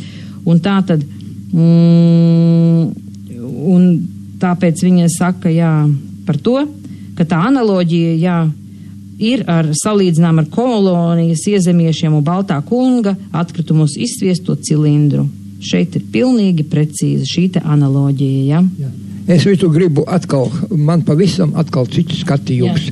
Jā. Žēl, ka profesori arī neredz tālāk pa savu degungalu un, ne, un, un neredz visas lietas plašā visā pasaulē. Zinātņu doktori. Juristi. Doktori, jā, juristi. Viņi ir stipri aprobežoti, es jau gribu pateikt. Mm. Redz, es viņai ieteiktu uh, izlasīt Douglasa Rīda. Tu zini, kas ir Douglas Rīds? Mēs jau par to esam vairāk kārt šeit runājuši. Nu, kas tas ir?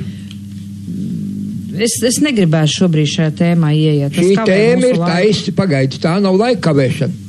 Duglas Rīts bija spiests bēgt no Amerikas, kur viņu četras reizes gribēja noslepkavot. Viņš ir uzrakstījis grāmatu, supergrāmatu, 20 gadus viņš rakstīja šo grāmatu, vācu materiālus ar visiem dokumentiem, ar visu. Controversy of Sion, uh, strīds par Cionu kur viņš visas šīs lietas izvilka gaismā. Kāpēc tas ir tā, kāpēc tas nav tā, ar visiem pierādījumiem. Un viņa naida grāmata jau bija gatava un izlaida tikai pēc viņa nāves. Jo tu saproti, pie uh, dzīvam esot, viņu nevarēja pat izlaist. Viņu, viņu būtu noslapkojuši šā kā tā, neskatoties tam četrām reizēm. Es saku, 20 gadus slēpās Dienvidāfrikas Republikā pie Baltajiem. Un To vajag izlasīt katram. Super grāmata. Aivars Gārds man uzdāvināja krievu tulkojumu. Viņš gan ir saīsināts 157 lapus tikai. Īsnībā tas uh, grāmata ir apmēram gandrīz 500 lapuses bieza.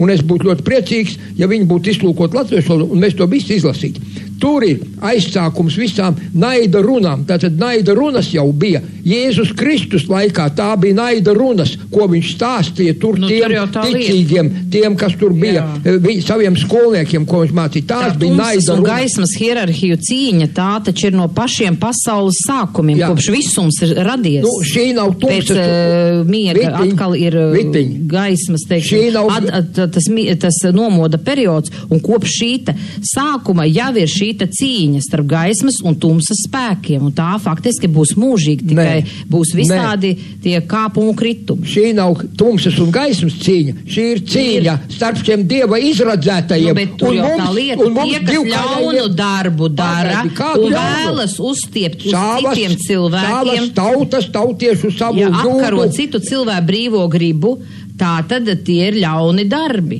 Daudz sagribēja. Samaitāt citu cilvēku Klausies, domāšanu. Kāda ir, kāda ir Latvija iznīcināta? Kāda iznīcināta visu rūpniecību?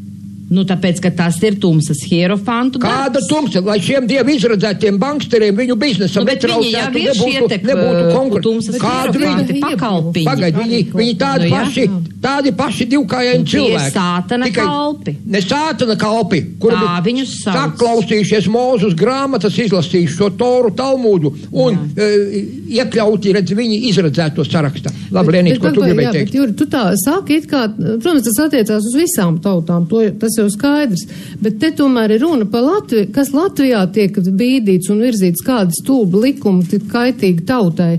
Un interesanti, ka tieši Latvija ir pirmā Baltijas valstīs, no visām trijām Baltijas valstīm, kur uh, dezu, dezinformātori pēdiņās Jā. tiek sodīti visvairāk. Tāpēc, ka šī verga Jā. dvēsele, Jā. šā sīkā dvēselīte. Nu, tad kaut kas šis- nav kārtībā šī- tiem Nav latviešiem, kārtībā nu. tiem latviešiem. Tāpēc, ka tie, kas bija spējīgi pastāvēt par sevi, ir izkauti, izsūtīti, iznīcināti, visādi apmeloti, Jā. aptaisīti, aplaupīti un tā tālāk. Jā, Jā. tie Tie, kas gaišākie. ļauj, ka viņiem kāpj uz galvas, tie arī visvairāk Jā. tiek apbežoti. Jā, tie visvairāk izrādās cieš. Palikuši pāri vieni dzērāji, kuri grāvīja vaļājās tanks pārbrauc pāri un tas palikās dzīves. Piemēram, Igaunija un Lietuva arī bija okupācijas, Jā. okupācija piedzīvoja. Ne bet tādā viņi mērā. savu tautu tā neapsvi, tā nemērdē, kā Latvijas uh, šitā te pastāvošā vara, kas, ko, tu- ko viņi pievākuši sev varu, jā. Nu, redzi, viņiem bija stiprāka tā nacionālā pašapziņa, jo mēs jau zinām, Vēl ka Lietuvā nav ir. tik augsts, jā, viņiem Mhm. nav tik augsts rādītājs, jā, okupantu klātbūtnes rādītājs, un, un, un mums ir visaugstākais no Baltijas, trijām Baltijas valstīm. Izrādās Latvijā, Jā. Latvija ir vienīgā, kas izmanto kriminālu likumu un ir aizturējusi vairākus dezinformācijas izplatītājus. Jā. Eh, Tas ir tad, tad, eh, savukārt Igaunijā un Lietuvā, eh, tas tiek uzskatīts par draudu vārdu brīvībai. Tas tur netiek darīts. Bet Latvijā policija piemērojas vairāk nekā 26 tūkstošu sodu. Jā. Lietuvā 17 tūkstoši un Igaunijā tikai 24. Nu, šis Jā. ir tas iemesls, eh, kāpēc eh, pie mums tas tā ir, tāpēc, ka mums ir visvairāk okupantu šeit uz vietas. Jā. Un mīļā miera laba. Tieši tā. Lai tikai nenotiek Tieši tā. sacelšanās kaut Jā. kāda, nu, arī no okupantu. Jā, lai, lai tikai e, to pūzni nekustinātu, lai tie okupanti mierīgi sēž, jo, ja tikai dos tās lūžas būs vaļā, te sāksies nenormāla, e, nenormāls pilsoņu karš, ļoti asiņains, jo piektā kolonna šeit jau ir iekšā. Un apbruņotā. viņu, uh, viņu uh, okupantu pēcteči šeit, uh, kuri dabūjuši jau uh, pilsonību, ja, tie saucamie naturalizētie, Aldermans naturalizētie uh, pabērni, ja, viņi visi šeit ir iekšā mūsu spēku struktūrās, policijā, uh, Vitu, regulāri, Viņiem ir šaujami, viņi ir apbruņoti, jā, diemžēl. Viņi ir zemesardzē. Jā, un to viņi jāiet ir uz 9. nacionāli paskatīties. spēkos. Viņi ir visur iekšā un viņi visu laiku sevi pilnveido, fiziski uztur labā kārtībā. Viņiem ir pieeja pie ieročiem un atļaujas lietot ieročus oficiālas. Ja? Tā kā no problēma, kā saka Angļija. Ja? Jā. Tāpēc arī šausmīgi baidās, jo mūsu e, iestīsimies pa, patiesībā acīs, kas notika arī pie tā uzvaras pieminekļa tagad nesen 9. maijā. Mūsu policija nebūtu tikusi galā, ja tur sāktos kaut kādi e, grautiņi. Tur vajadzētu pat armiju jau saukt. Un tad arī, un ja armija tiktu iesaistīta, tad jau būtu uh, nacionālais, eh, kaut kāds starpnacionālais, eh, jāsaka, šis te konflikts, kur pat varētu jau iz, izraistīties uh, nu, reāls uh, karš starp varbūt Krieviju un Latviju. Mēs pat nezinām, jā. jā. Es negribu minēt, tāpēc, ka es tikai vienkārši no sava viedokļa, ko es stāstu, Nē, eh, nē, no saviem Vitu, vērojumiem. Vitu, tad būtu NATO. Jā. Es tev teicu, blakus Jā. Ventspilī ceļš no jūras jau ir nosfaltēts, lai desants amerikāņu NATO Jā. Rīgā būtu divu stundu laikā, lai būtu, ja, ja Un sāktos. tas šādas pievērstu nekārtības. nepatīkamu, nevajadzīgu uzmanību starptautiskajā arēnā. Nu, Jā. bet, manuprāt, arī policija ļāva, nu, pilnīgi piemērojās tām visu okupantu tām izdarībām, runāja ar viņiem viņu valodā. Mīļi, mīļi, nākiet. saukāt par fašistiem. Ja viņi to nebūtu ļāvuši, nu, tad taču uzreiz konflikts uz vietas Jā. būtu. Tu, bet ne, viņi tak ļāva sevi tur būtībā pazemot. Bet atkal mīļā miera sindroms. Jā, jā, un tāpēc jau arī nebija nekādas tur, kā tu saki, ka varēja izcelties. Un ja mums kas, jā. pārmet kaut kādu naidu kurināšanu, mm. tad kurš te kurina naidu? Jā.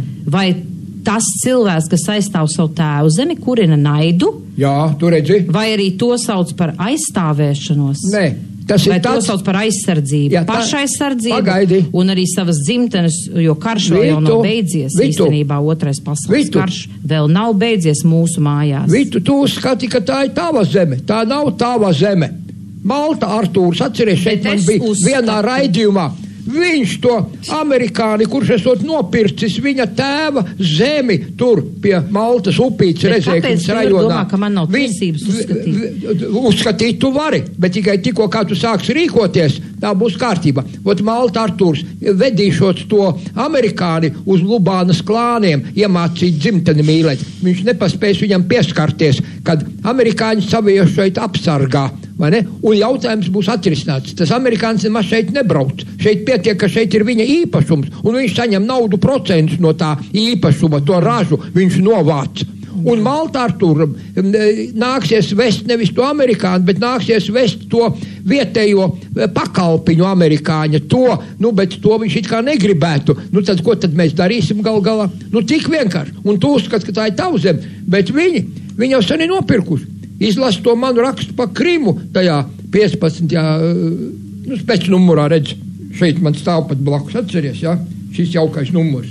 Vai atdzimst Krims Kalifornija? Kam viņi pieder? Cilvēki pat pie skaidrības netiek, kam viņi pieder.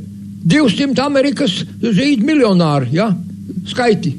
Roosevelts prezidents, tad vēl nebija prezidents, viņa sieva Eleonora, Džons Maršals pēc Maršala plāna, uh, šitais te, uh, CRU, uh, nākamais direktors Hoovers, vairākus miljonus hektāru Krimu nopirkusi. Ļeņina šitas te ār, ne, premjeru vietnieks Lurjē izkārtoja, nopirka viņi. Mana zeme, vācies ārā, es esmu īpašnieks. Tāpēc iet visi ampadrāt cipa Krimu, lūdzu, Lienīt. Es gribēju nobeigt par tiem okupantiem, ja, ka nu, visi tie, kas tā seko līdz, kas Latvijā notiek, ne jau tikai mēs, bet arī tur, piemēram, brīvvalsts pārstāvi un visādi citi vēl cilvēki, viņi nosauc šo te varu par antikonstitucionālu pārvaldi, un tā ir taisnība. Un visi kaut kā Latvijā jau arī pieraduši, ka te ir 4. maija republika. Nu, Pilnīgi nevienu tas pat neuztrauc, jā. Nu, kaut gan tā tam nevajadzēja būt, vajadzēja būt tā, ka tiek atjaunot 18. novembrī 18. gadā dibinātā uh, Latvija. Bet tas tā nav. Lenuts, tas tiek iestāstīts. Iestāstīts, tas tiek jā. tieši tāpatās. Stāsta, stāsta? Overton loks simt reiz, tūkstoši reiz atkārto, un Jā. mums liekas, ka mēs dzīvojam. Jā. Jā, pa normu. Brīvā Latvijā, šī ir 18. gada Latvija, mēs jau Tā ir tikpat tā kā tā vairiņas tā hipnoze. Ja mēs Slimība tā ir. Mēs Jā, visu varam. Slimība tā ir psihiska slimība, es tev teikšu. Jā, bet šeit pastāv tāda antikonstitucionāla pārvalde, un viņa cenšas radīt priekšnoteikumus, lai personas, kas atbilst PSRS okupantu statusam, varētu iegūt Latvijas pilsonību, un Sovietu režīms varētu turpināt valdīt. Jo bez okupantu klātbūtnes antikonstitucionālā vara nenoturētos pat pāris mēnešu. Tad, tad vēlreiz vienkārši, kad viņiem ir vajadzīgi šie okupanti, lai te viss, mēs tā kā uz pulveru mucas te mūžīgi Jā. sēdētu, Jā. bīstama situācija. Jā. Jā. Jā, viņi lai savu tu likumu. Mm. Ar vēlēšanām mēs arī viņus it kā uzturam un Jā. atbalstam, leģitimizējam šo te faktu. Un ne tikai. Izlasi Aivis Vasiljevskis, man ir rakstīns, es gribēju šodien paņemt līdzi nolasīt. Redzi, šī okupācija no austrumiem mums nav beigusies, kad okupācija no rietumiem jau ir pilnā spara. Agrāk mēs te ņirgājamies eh, krievu valodā, mēs tā speciāli eh, mēdījā, mēs runājam pretīm, vai ne? Biļēķik, biļēķik vai kā, vai ne? Vienkārši tas tā tautā. Bet tie okupanti vēl nav prom, un jaunie okupanti, amerikāņu karaspēki šeit uz vietas, Nacionāla biblioteka augšā tur tajā. Paskatieties uz to paneli. Rādio lokātoru antēnu uz Baltijas jūru un līdzi e, mēra skrundas lokātoru vietā, tikai uz otru pusi, vai ne? Un viss kārtībā. Amerikāņi 160, cik tur 150 Abrams tanki ādažos stāv. Li, e, Lidlaukā, lielvārdē, lidmašīnas var nograut desmit sekundžu laikā, jebkur piecstāv māja, tā lidmašīna spēja nograut līdz čupiņa uh, smilšuma ar ķieģeļa atliekām. Un viss, saprot? Un tie ir vietā jau, jā.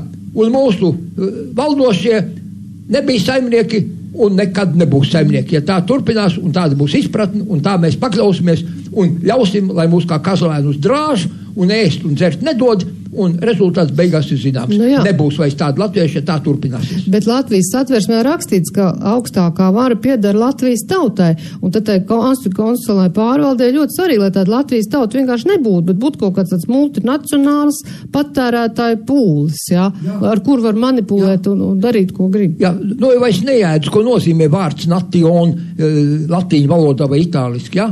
Jā, un, Tauta un jā. diemžēl tas, ko tu. Tagad ir Jā. nācija, nācija. Un kas ir nācija? Amerikāņu nācija, kopmītnes tipa zbrots no eh, daudzu tautību bērniem. Un mums ar šeit ir latviešu nācija. Nu, latvieši sauc par latviešiem, eh, krieviņi sauc par rusakiem, prusakiem un kā nu kurš vai ne. eh, Krievi latvieši par lābusiem un viss ir kārtībā. Vienīgais, problēmas? ko es gribēju pateikt, jo tu zini, ko tu tagad tūlīt sāks lasīt, ja, jo man bija ar tiem zēniem tad, tad, diskusija tajā Facebookā, ja, un tur noskaidrojās, ka jā, ka šie te zēni arī ir pilnīgi burtiski nikni, viņi arī nosauc šo te panti konstitucionālu pārvaldu, tas, kas te tagad režīms valda. Bet viņi ir nikni citā jautājumā uz to pārvaldi. Kāpēc viņi nav iedevuši tā teikt nulles pilsonību visiem šiem te līdztautiešiem, kas te dzīvo? Tie taču ir pastāvīgie iedzīvotāji. Viņi nesaprot lietas būtību. Jā, un viņi svēti ar putām uz lupām šo man stāst. To faktiski vajadzēja izdarīt. Leiši to izdarīja. Leiši to varēja atļauties. Viņi to varēja Jo atļauties, viņam bija jā. 82% lietuviešu, 7% polīšu, tas ir 89%, un 11%, nu, var kaut pāris procentu latviešu, tas pār, un krieviņi, jeb krievu valodīgie tikai kādi tur 2, 3, 5% ne vairāk. Un tikko, ka ja tā ir jauna valsts, ja pasludina, ka jauna valsts, kā faktiski arī pie mums ir pasludināta, Ir. tad būtu visiem automātiski uz to brīdi, kas šeit dzīvo, atrodas. Ja? Pierakstīts, tā teikt, kā mēs bijām pasēdi dzīvi pēc dzīves vietas pierakstīts. Visiem automātiski jādod pilsonība. Ja to būtu tajā brīdī iedevuši Tad visiem, tev latvieši saceltos. Tad domāju. patiešām vilkt ārā kaut kādas medību bistes un akmeņus un lingas un sitamos un duramos. Tas būtu tā kā ietu- iemest karstā ūdenī, Jā, jā. sist krievus tā kā mums skolā, ka gāja atceries 14. Uh, pamatskola bija te Olīvielā, jeb, uh, ne, Olīvielā, ne, Olīvielā viņa nebija, viņa bija tajā. Nu, tad latvieši reaģētu. Jā, jā, jā. Tad reaģētu, ne? Pēc balles gāja sist krievus, un krievi nāca sist latviešus uz Lēniņā, 4. tā vidusskolu. To es atceros, kad es mācījos skolā. Tagad ir 30 gadi izstiep desa garumā, un tagad jau ļoti viegli ir tagad pateikt, bet tie taču ir līdztautieši, tu taču pastāvīgie iedzīvotāji, jā. Jā, protams. Kādi okupanti. Vai nu nomiruši, vai arī jau veci cilvēki, viņi vairs nespēja ja, fiziski, teiksim, un arī pat jau garš ir sagurs, ja.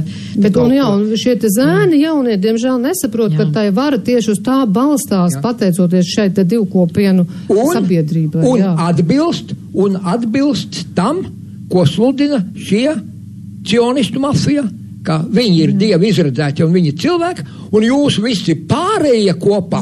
Kādi tur okupanti, nu kāda tur tautība, nācija, draudzīga nācija. Mums nav tauta. Viņu mums ir interesēs, lai mēs sajauktu. Mums ir ne tikai divu kopienu, mums ir daudz kopienu valsts, sauc par kopienu. Kopiena, kopiņā. Jā, tu saproti? Lopiņi faktiski. Jā, priekš viņiem. Nu jā, tiem ir dažādas šķirnes Lopiņi, dažādas šķirnes, dažādas sugas pat brīžam, vai ne? Un tā tālāk. Jā, tik tālu mēs esam nonākuši. Un tad nevar tikt maldās trijās priedēs un nevar tikt pie skaidrības, kas ir kas un kāpēc tas ir tā. Vajadzētu būt it kā tā, bet nav tā. Šitā vajadzētu būt. Arī nav tā. Kaut kas līdzīgs ir.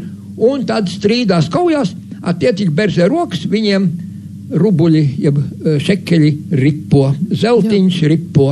Jā, lūdzu, Lienīt. Es, es vienkārši tā visu laiku domāju, nu, tu visu laiku arī saki, un tev, tev droši vien taisnība, ka mēs tikai 99, ā, 99% latviešu neredz okupāns, bet tikai 1% redz, nu, mēs ar tevi, Vita, vēl, vēl tur daži cilvēki, jā.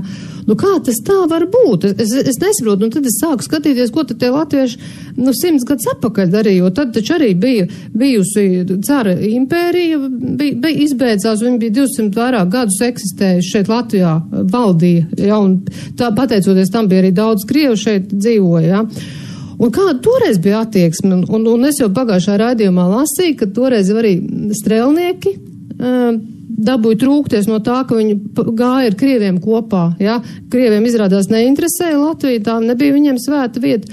Un izrādās vēl senāk arī latvieši. Vienmēr ir doma, Krišāns Valdemārs izrādās vairāk nekā simts gadu atpakaļ. Viņš ieinteresēja Krievus cīņā pret vāciem, tad kopā ar latviešiem, ja? bet viņa sabiedrotie Krievi vēlāk sāka nopietni apdraudēt arī latvietību. Pārkrievošanas vilnis, kas enerģiski sākās pagājušā gadsimta 80. gados, tad 19. gadsimtā, un ilga līdz pat pasaules karam, pirmajam bija lielā mērā Valdemāra ievadītās Krievu orientācijas sekas. Tad visu laiku tam latvietim nagi niez iet kopā un nevis ticēt saviem spēkiem, savai tautai, bet pieslieties kaut kādai lielai, lielai, lielai. Jā, redzi, eh, tad, kad ir stiprākais, eh, viens riktīgs izsitējis tajā tavā eh, komandā, jeb grupiņā, tad tu vari iet kauties ar citiem, vai ne? Tad gan jau tas lielais parādīs tā kā vajag. Bet es tev gribu Jā. pateikt, ka mazliet agrāk viss tas sākās, tu atceries, tad, kad faktiski nu, tā nebija Latvija, bet uh, latviešu uh, teikt, priekšteči un, un tie, kas veidoja latviešu kā tautu kurši un um, tie, kas bija vidzemē, atceries, bija zem poļiem. Bija zem zviedriem, visur bija šīs lielas impēriskās ambīcijas jau no seniem laikiem, jo tik jauka, laba zeme nevar palikt tukšā, vai ne visiem patīkās. Ja? Tagad arī tik daudz ir nopirkuši šeit zemi, tāpēc, ka šeit vētras nav plūdi, nav uh, zemestrīces, nav uh, mīnus 50 grādi, nav uh, plus 50 grādi, arī nav, ir vislabvēlīgākie apstākļi dzīvošanai. Un te kaut kādi latvieši ieperinājušies, ko viņi te aizmirsuši, viņus jāiznīcina. Un tā tad. Zviedri um, no poļiem, tā teiks, iekaroja, dabūja Kārlis 12. Un Pēteris I sakāva eh, Kārli 12. un samaksāja vēl naudu. Atceries, ko Imants, Imants atceries, cara mazmaz dēliņš, kurš pēc gēniem varētu skaitīties, ja? no Anastāsijas pēctecis, teica, pat 30 vezumiem sudraba uh, rubuļu nopirka vidzemi, Ļifļanģiju. Tā ir viņu zeme. Un ja Pēters pirmais nopirka, tāpēc eh, šie uh, Krievi pašlaik arī uzskata, kā tas ir mūsu īpašums. Nopirka, cars Pēters pirmais nopirka, tāpēc arī bija šī guberņa, tāda Krievijas guberņa. Vienkārši. Saproti? Ja Kārlis 12. nebūtu gribējis iet uz Krieviju no viņa zemēm kaut ko nokampt vēl, nu, bet Pēters bija tik organizējies, ka nu, gala rezultātā uh, gan pie Poltavas, gan šī Latvijā, gan sadeva Kārlim uh, tā teiks, pa degunu, ka Kārlis bija spiests aizbraukt pie turkiem, un tur arī viņš beidz savus dzīves gaitas. Tu jūri aizstāv tagad latviešu tautas intereses vai kādas, tu, ka viņi tur no, nopirkuši pat tiem naudas gabaliem vidzem? Nu, tu redzi, tā tad vajag sakārtot lietas ar vēsturi, vajag zināt, kā tad bija. Es neaizstāvu nevienu interesi, es tikai saku, ka tie, kas uzskata pa Krimu, ka viņi nopirkuši Krimu tur 24. 30. gadā pa to starpu, uh, oficiāli pārdeva, viņš naudu samaksāja. Ja es samaksāju naudu, naudu nopērk, tas ir mans. Tāpēc viņi tā to redz un tā skatās. Sāc strīdēties ar kādu šo no krieviem. Viņi teiks, tā. Atceries, privāti īpašums. Jā, jā privāti īpašums, svēta mm. lieta. Mm. Atceries, ko teica uh, šis te uh, Artus kaimiņš suņu būdā, Ilarions Girs. Rīga, это русский город, это наш город un gandrīz vai sakāvās ar Artus kaimiņu, un Artus kaimiņš dabūja mikrofonu viņam uh, aizgriezt ciet, lai nesāktos patiešām jandālīs. Paskaties, tas ir redzams tūlīt, tad, kad es biju pie Artus kaimiņu, uh, pēc diviem, trīs raizbiem, tas ukraiņu uh, puika arī šautu aci, vai ne? Tas tur bija Dainis Īvāns, bija, ka memļaks tur sēdēja, un viņi ņaudēja kaut ko sakarīgi, nevarēja neko pateikt, un Ilarions Girs demonstrēja. Nu jā, bet redz, to jāredz. Viss, jā, to jāredz viņu nostāju, viņu Tāpēc, ka neviens izpratni. viņus nepieliek pie vietas. Jā, prot, neierāda šī, viņiem viņu īsto vietu. Jā, tāpēc šī deokupācija, dekolonizācija jā. bija jāveic jau uzreiz otrā dienā pēc to, kā šeit pasludināja. Jā, a, mēs tagad kaut kādu, jā, 4. maija deklarāciju plivinam. Jā, ko tu jā, te karo, jā. ko vecam? Paskaties, reku tas vēl viens raksts. Jā, pagaidi, neskaties rakstu. Uh, paklausies, uh, Aldis Drēģers uh, dziedāja un nevar saprast, ko, uh, kā tur bija, ko, ko, ko veceni karo, var sakot, veceni karo, viņai mūžīgi nav kaut kas labi? Te var kaut kas nav labi, paskaties, ievēro īpašumu tiesības, nu, nopirkuši, ka tur kaut kādi vieni pārdev otriem. Labi, Lenīt, ko tu gribi teikt? E, nu, tie Krievi jau te mums okupācijas rezultātā mūždien te ir atradušies, ne jau, ne jau tā normāli, jā, kā tā. civilizēti, jā, vienkārši ieprecējušies, kā tas, kā tas īstenībā vienīgais veids, kā tu vari tikt pa citas valsts pilsoni. Civilizē, civilizēti, pagaid, civilizēti vecticībnieki te atbēga kā uz miera ostu, jā, atceries, ka Pēters pirmais bārdas viņiem gribēja griezt nost, vai ne? Un, un tad tie, lai nepakļautos šādai te bārdas nogriešanai, atbēga uz Latviju, un Latviju viņus sirsnīgi pieņēma. Nabaga cilvēciņi, cārs grib bārdas nogriezt viņiem, un tā viņi Nu, labi, visu jā, jā. tur pārņēma viens liels apgabals. Bet jā, kopumā kri. Krievi tomēr kā, okupanti mūsu zemē te ir ieradušies, ne, jau- ne, nekā savādāk. Un tieši tāpēc es arī pievēršu uzmanību tām izdarītajām kļūdām, tiem pašiem domu gājieniem, kas ir bijuši arī pirms 150 gadiem. Es tāpēc arī viņus citēju un lasu, jo kā indiāns, cik reiz indiāns kāpj uz grābekļu? Vienreiz viņš iemācās no tās kļūdas. Jā, Latvietim vajag simts reizes kāpt uz Un, un grābekļu. vēl neiemācās. Jā, nu. Jā, un vēl neiemācās. Jā, un, jā, un tie, kas okupēja, mm. nu, k- tur Krievu starp citu bija ļoti maz. Viņi gan runāja visi Krievu valodā, ja? bet tie bija visi tie šķībacainieki, garacainieki, platām pierēm, īsām pierēm, melniem matiem, tumšiem matiem, kas tikai tur nebija. Lielākoties mēs viņus saucam par čučmekiem, atceries, ja? Un Tagad es naidu runu tur, un raidu, naidu kurinu vai nekādi čučmeki, kas tie, tāpat kā pat, pasaki čangaļi, nēģeris, čigāns, viss ir naida vārdi, tos vajag svītrot ārā. Pasties. Latvijas rādio, kā, kā, Līgu- kā viens cilvēks grib ko pateikt, to, ko Jā. pasaka žīts, tā uzreiz klausa un klaus, Līga muzikanti, pateikt. kult, mm. līga muzikanti Aivar Gard so, eh, grib tiesāt tikai par to, ka avīzē žīdu pa žīdu nosaukuši nu, no jūdiem. Nu, kā lai vēl pasaka latviešu valodā? Jūdi, no jūdiem celšies. Žīdi ir, atceries, kā Steins Nu, viņus te es teikšu sauc. tā, ka mums arī liela nozieguma, jāsaka, dar, str- pie, pastrādā arī mūsu uh, zinātnieki, jā, teiksim, kaut kāda profesori, kuri varētu skaidrot visādu vārdu nozīmi, jo viņiem tās zināšanas ir, bet viņi gļēvi Nav. klusē. Un Nav. tāpēc viņi ir līdzvainīgi arī noziegumā. Un cilvēki, kā nu prazdami, spirinās, kuri nav ar mieru, ja, kad notiek nelietības mūsu valstī, Jā. un līdz ar to sanāk, kā sanāk. Vitu- Mums pašiem sevi Vitu- jāiemācās aizstāvēt. Vītu, tu pa labi domā par viņu zināšanām. Viņi ir tik aprobežoti. Ne, Man ir Viņi bijis ir ļoti šaurā. saskarsme ar cilvēkiem. Viņi Pagaidi. daudz ko zina, bet viņi ir gļēvi. Nē. Jā, Viņi- Juri, mums viņi- ir gudri cilvēki, bet viņi viņiem- ir gļēvi. Viņi Viņi- baidās zaudēt darbu. Pagaid, Jā. pagaid, viņiem ir tik šaurs pasaules redzējums, ja viņi tik uh, redz to, uh, viņi sīkmaņi dvēselē. Ja tu saproti, gļēvulis viņi nesaprot. līdzvainīgs. Gļēvuļi arī. Es noziedzībā. nebūtu neapstrīdis. Tu gribi, uh, tikai- var tu gribi uz to gļēvo tikai. Viņi ir gļēvuļi un arī zināšanas viņiem trūkst. Un tad viņi cenšas visādus attaisnojumus rast un savus zināšanas izmanto pilnīgi pretēji. Nevis lai pierādītu, kā tas ir patiesībā. Jā, kā bija tas teiciens bet kā- Karlēle, kad ja, ja, e, ja ir bīstami runāt, tad tieši tad nedrīkst klusēt. Ja? Tad, kad Nu jā. bīstami kļūst runāt, tad tieši tad nedrīkst klusēt.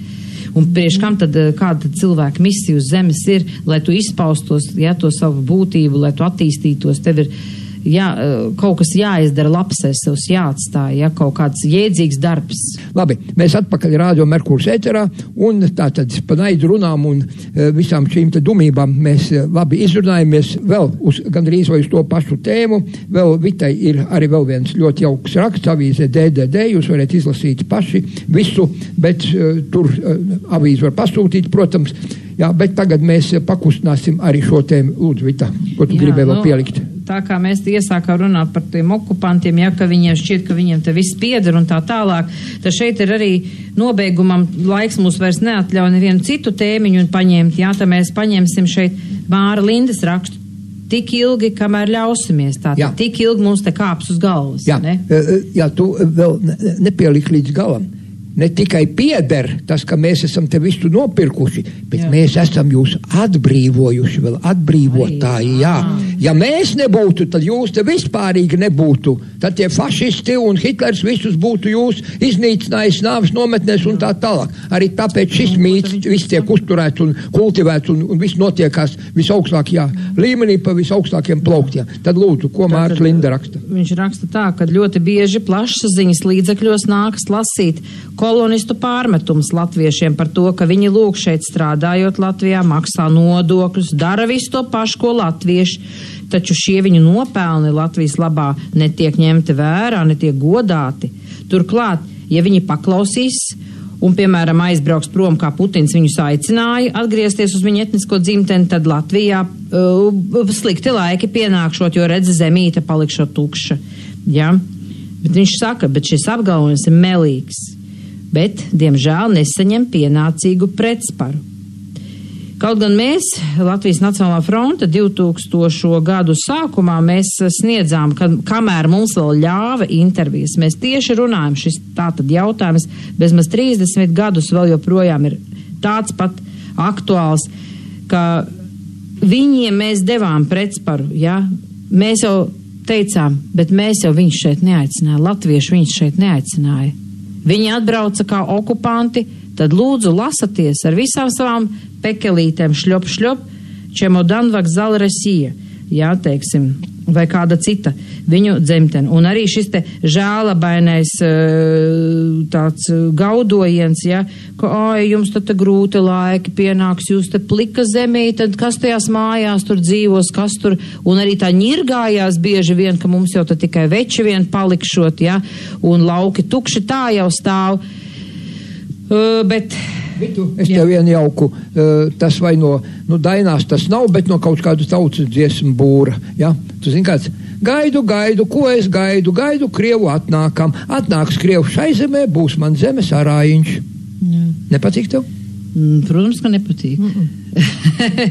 Tāda es izlasīju žurnālā Zvaigzne Jā. um, Tajā- tajā gadā, jā. 1956. gadā, man Nu, liekas. tā bija tā īstais Tā uh, tā laiks, jā, propagandas Jā, laiks. bet pagaidi, bet radīta tā viņa ir stipri, stipri senāk. Tā ir radīta vēl droši pirms simt gadiem, ja ne vēl vairāk. Jā. Bet nu, ir arī tādas domas. Un redz, ar šādām domām, cik tālu mēs esam nonākuši. Ka mm. tev vairs pašai šeit vieta nav šai zemītē. Jā. Arājiņš varbūt ir, bet tikai ne priekš tevis. Viņš ar priekš sevis, priekš saviem bērniem, savus sievas, priekš savus ģimenes, bet eh, tu esi viņam traucējošs jau. Tā kā izdzīvojis tev no savu dzīvokļa ārā. Jā. Ir skaisti, ja? Tātad pēc neatkarības atgūšanas pārtraucot darboties PSRS kara rūpniecības kompleksam Latvijā un pēc mērtiecīgās mums vajadzīgās rūpniecības iznīcināšanas tik tiešām darba vietu skaits samazinājās zem nepieciešamā.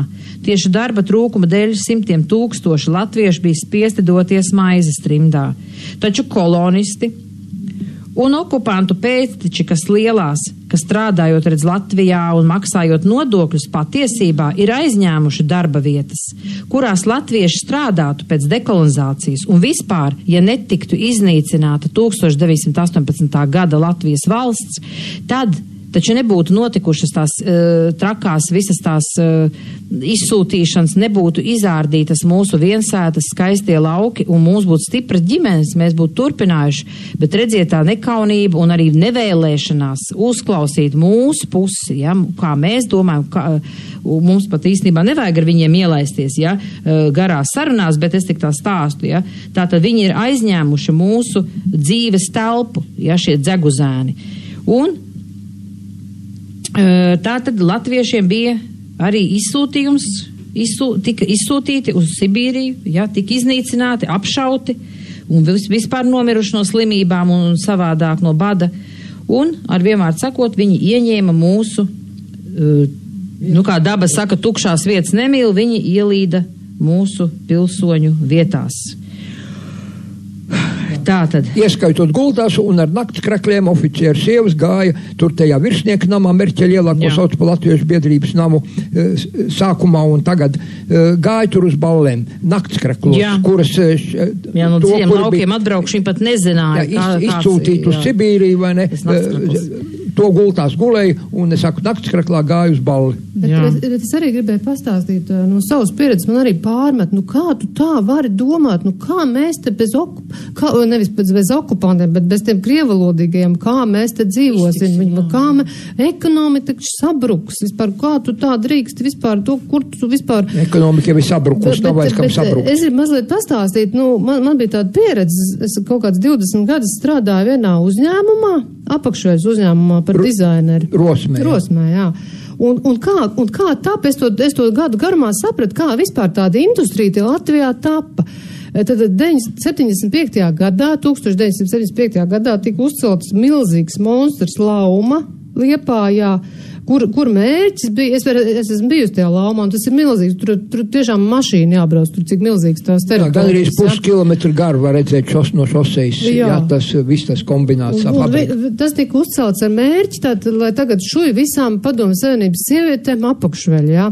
Tad, tad liepājā, lai tas notiek, jā. Un, protams, ieforsēja pilnu, pilnu ar darba ļaudīm, ne, jo Latvijā taču nav tik daudz, ne, un tad saforsēja tos darba ļaudis, un liepā ir ļoti krieviska, kā jūs tur arī esat bijuši, droši vien nesat, nesat, esat ievērojuši, vai ne?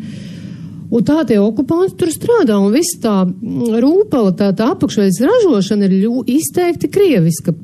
Tad, kad es sāku strādāt 99. Vienīt, gadā, vēl jā. šodien septiņās lielākajās Latvijas pilsētās latvieši ir mazākumā. Jā. Par ko mēs runājam? Tagad es vairs tur nestrādāju. Es tagad varu pa- pastāstīt, vai ne? Es 99. gadā tur sāku strādāt, un tur uh, bija tāda kri krievieta, uh, nu es nezinu, kas viņa pēc tautības, bet nu krieviski runāja. Jā, Krievvalodīgā, jā krievalodīgā. Un viņa man teica, ka mēs, te, мы, мы здесь только по-русски говорим. 99. gadā, neatkarīgi Latvija, jā. Man jaunam cilvēkam, viņi redz, jā, viņi redz, ka man tur, man nav tā, ka pilnīgi man tā krievu valoda ir tā kā jā, jā, mātes jā. valoda. Es tur tā ar- tikai ar lielu akcentu labi, ja es vēl varu runāt. Un tā viņa man aizrādīja, ka, ja es tur gribu samēs, jau te tikai krieviski runājam. Un tad tā man arī tur. Es jau, protams, ka toreiz jau vispār bija bezdarbs ā, 90. Jā, jā, gados. tie man jau nācās tur pie, pielāgoties, ja. Bet pēc tā valodas referenduma, tā kā tie krievalodīgi nobalso pa otru valodu, mm. -hmm. tā gan es tur principā tikai latviski runāju tajā darbā. Nu, vienīgā, es biju vienīgā latvieta, jā. Un tā kā vesela industrija ir uztaisīta krievu valodā, tur latvietis pat, pat nemaz nevar tā normāli tikt tajā visā t- iekšā jā, tur, jā. jā, tā sistēma tā ir izveidota. Viņi pieder krievu Nu, tas ir tas nu. noziegums, ko mūsu valdība pastrādāja, ka neko nedara, lai nebūtu šis trakais pazemojums uh, latviešiem savā zemē. Jā, Nu, diemžēl tā ir. Jā. Jā, Tik tālu esam nonākuši. Atņemot darba vietas, jā. Jā, mums latviešiem, mm -hmm. viņi veic tie okupanti genocīdu pret latviešiem. Turpina to Mēs darīt. būtu tikai ieguvēji, un ja Jā. aizbraukt atpakaļ uz savu. Un tās viņi ir sekas šai neveiktai deokupācijai, dekolonizācijai. Diemžēl, ja Jā. dziļāk roku dēļ tiem iemesliem, tad viss, diemžēl, ir redzams, ka nāk sakne pamats ir šeit. Diemžēl. Nu, un arī mūsdienās tātad šī dekolonizācijas trūkuma dēļ izsauktā emigrācija ja, ir cirtusi smagas un paliekošas rēts mūsu tautas dzīvē ķermenī, taču mūsu pienākums ir darīt visu, lai tās mazinātu. Par to klusējot mūsu priekšā atkal nostājas kārtējais tautas apmu, apmaušanas piemērs - nekaunīga prasība, lai noziegums tiktu uzskatīts par labdarību. Nu tad cik te ilgi vēl? Nu, protams, ka atbildi ir vienkārši tik ilgi, kamēr mēs ļausimies. Kamēr ļausim mums kāpt uz galvas, tikmēr mūsu mīs dubļos, apsmies, apsaukās un iznīcinās, ja tikai ļausimies. Jā, okupantu klātbūtne pazemina latviešu pašapziņu. Vienkārši Ļoti. pazemina. Un pazemo. Pazemo, jā. Jā, nu redz, cik labi. Ja tu neļaujies, tad tas nozīmē, ka tevi izvaro. Ja tu ļaujies, tad ir viss kārtībā. vai ne? Nu, tik vienkārši piemērs. Jā, Jā. ir jāpretojās. Jā, ir Latvija tiek jāpretojās. izvarota, jā, Jā. šobrīd. Diemžēl redzi, tāds ir rezultāts. Labi, mēs jau esam nu, tik daudz runājuši un tik nikni, kā daži klausītāji teiks, varbūt, ka mēs esam sagājuši sviestā jau. Ne tā?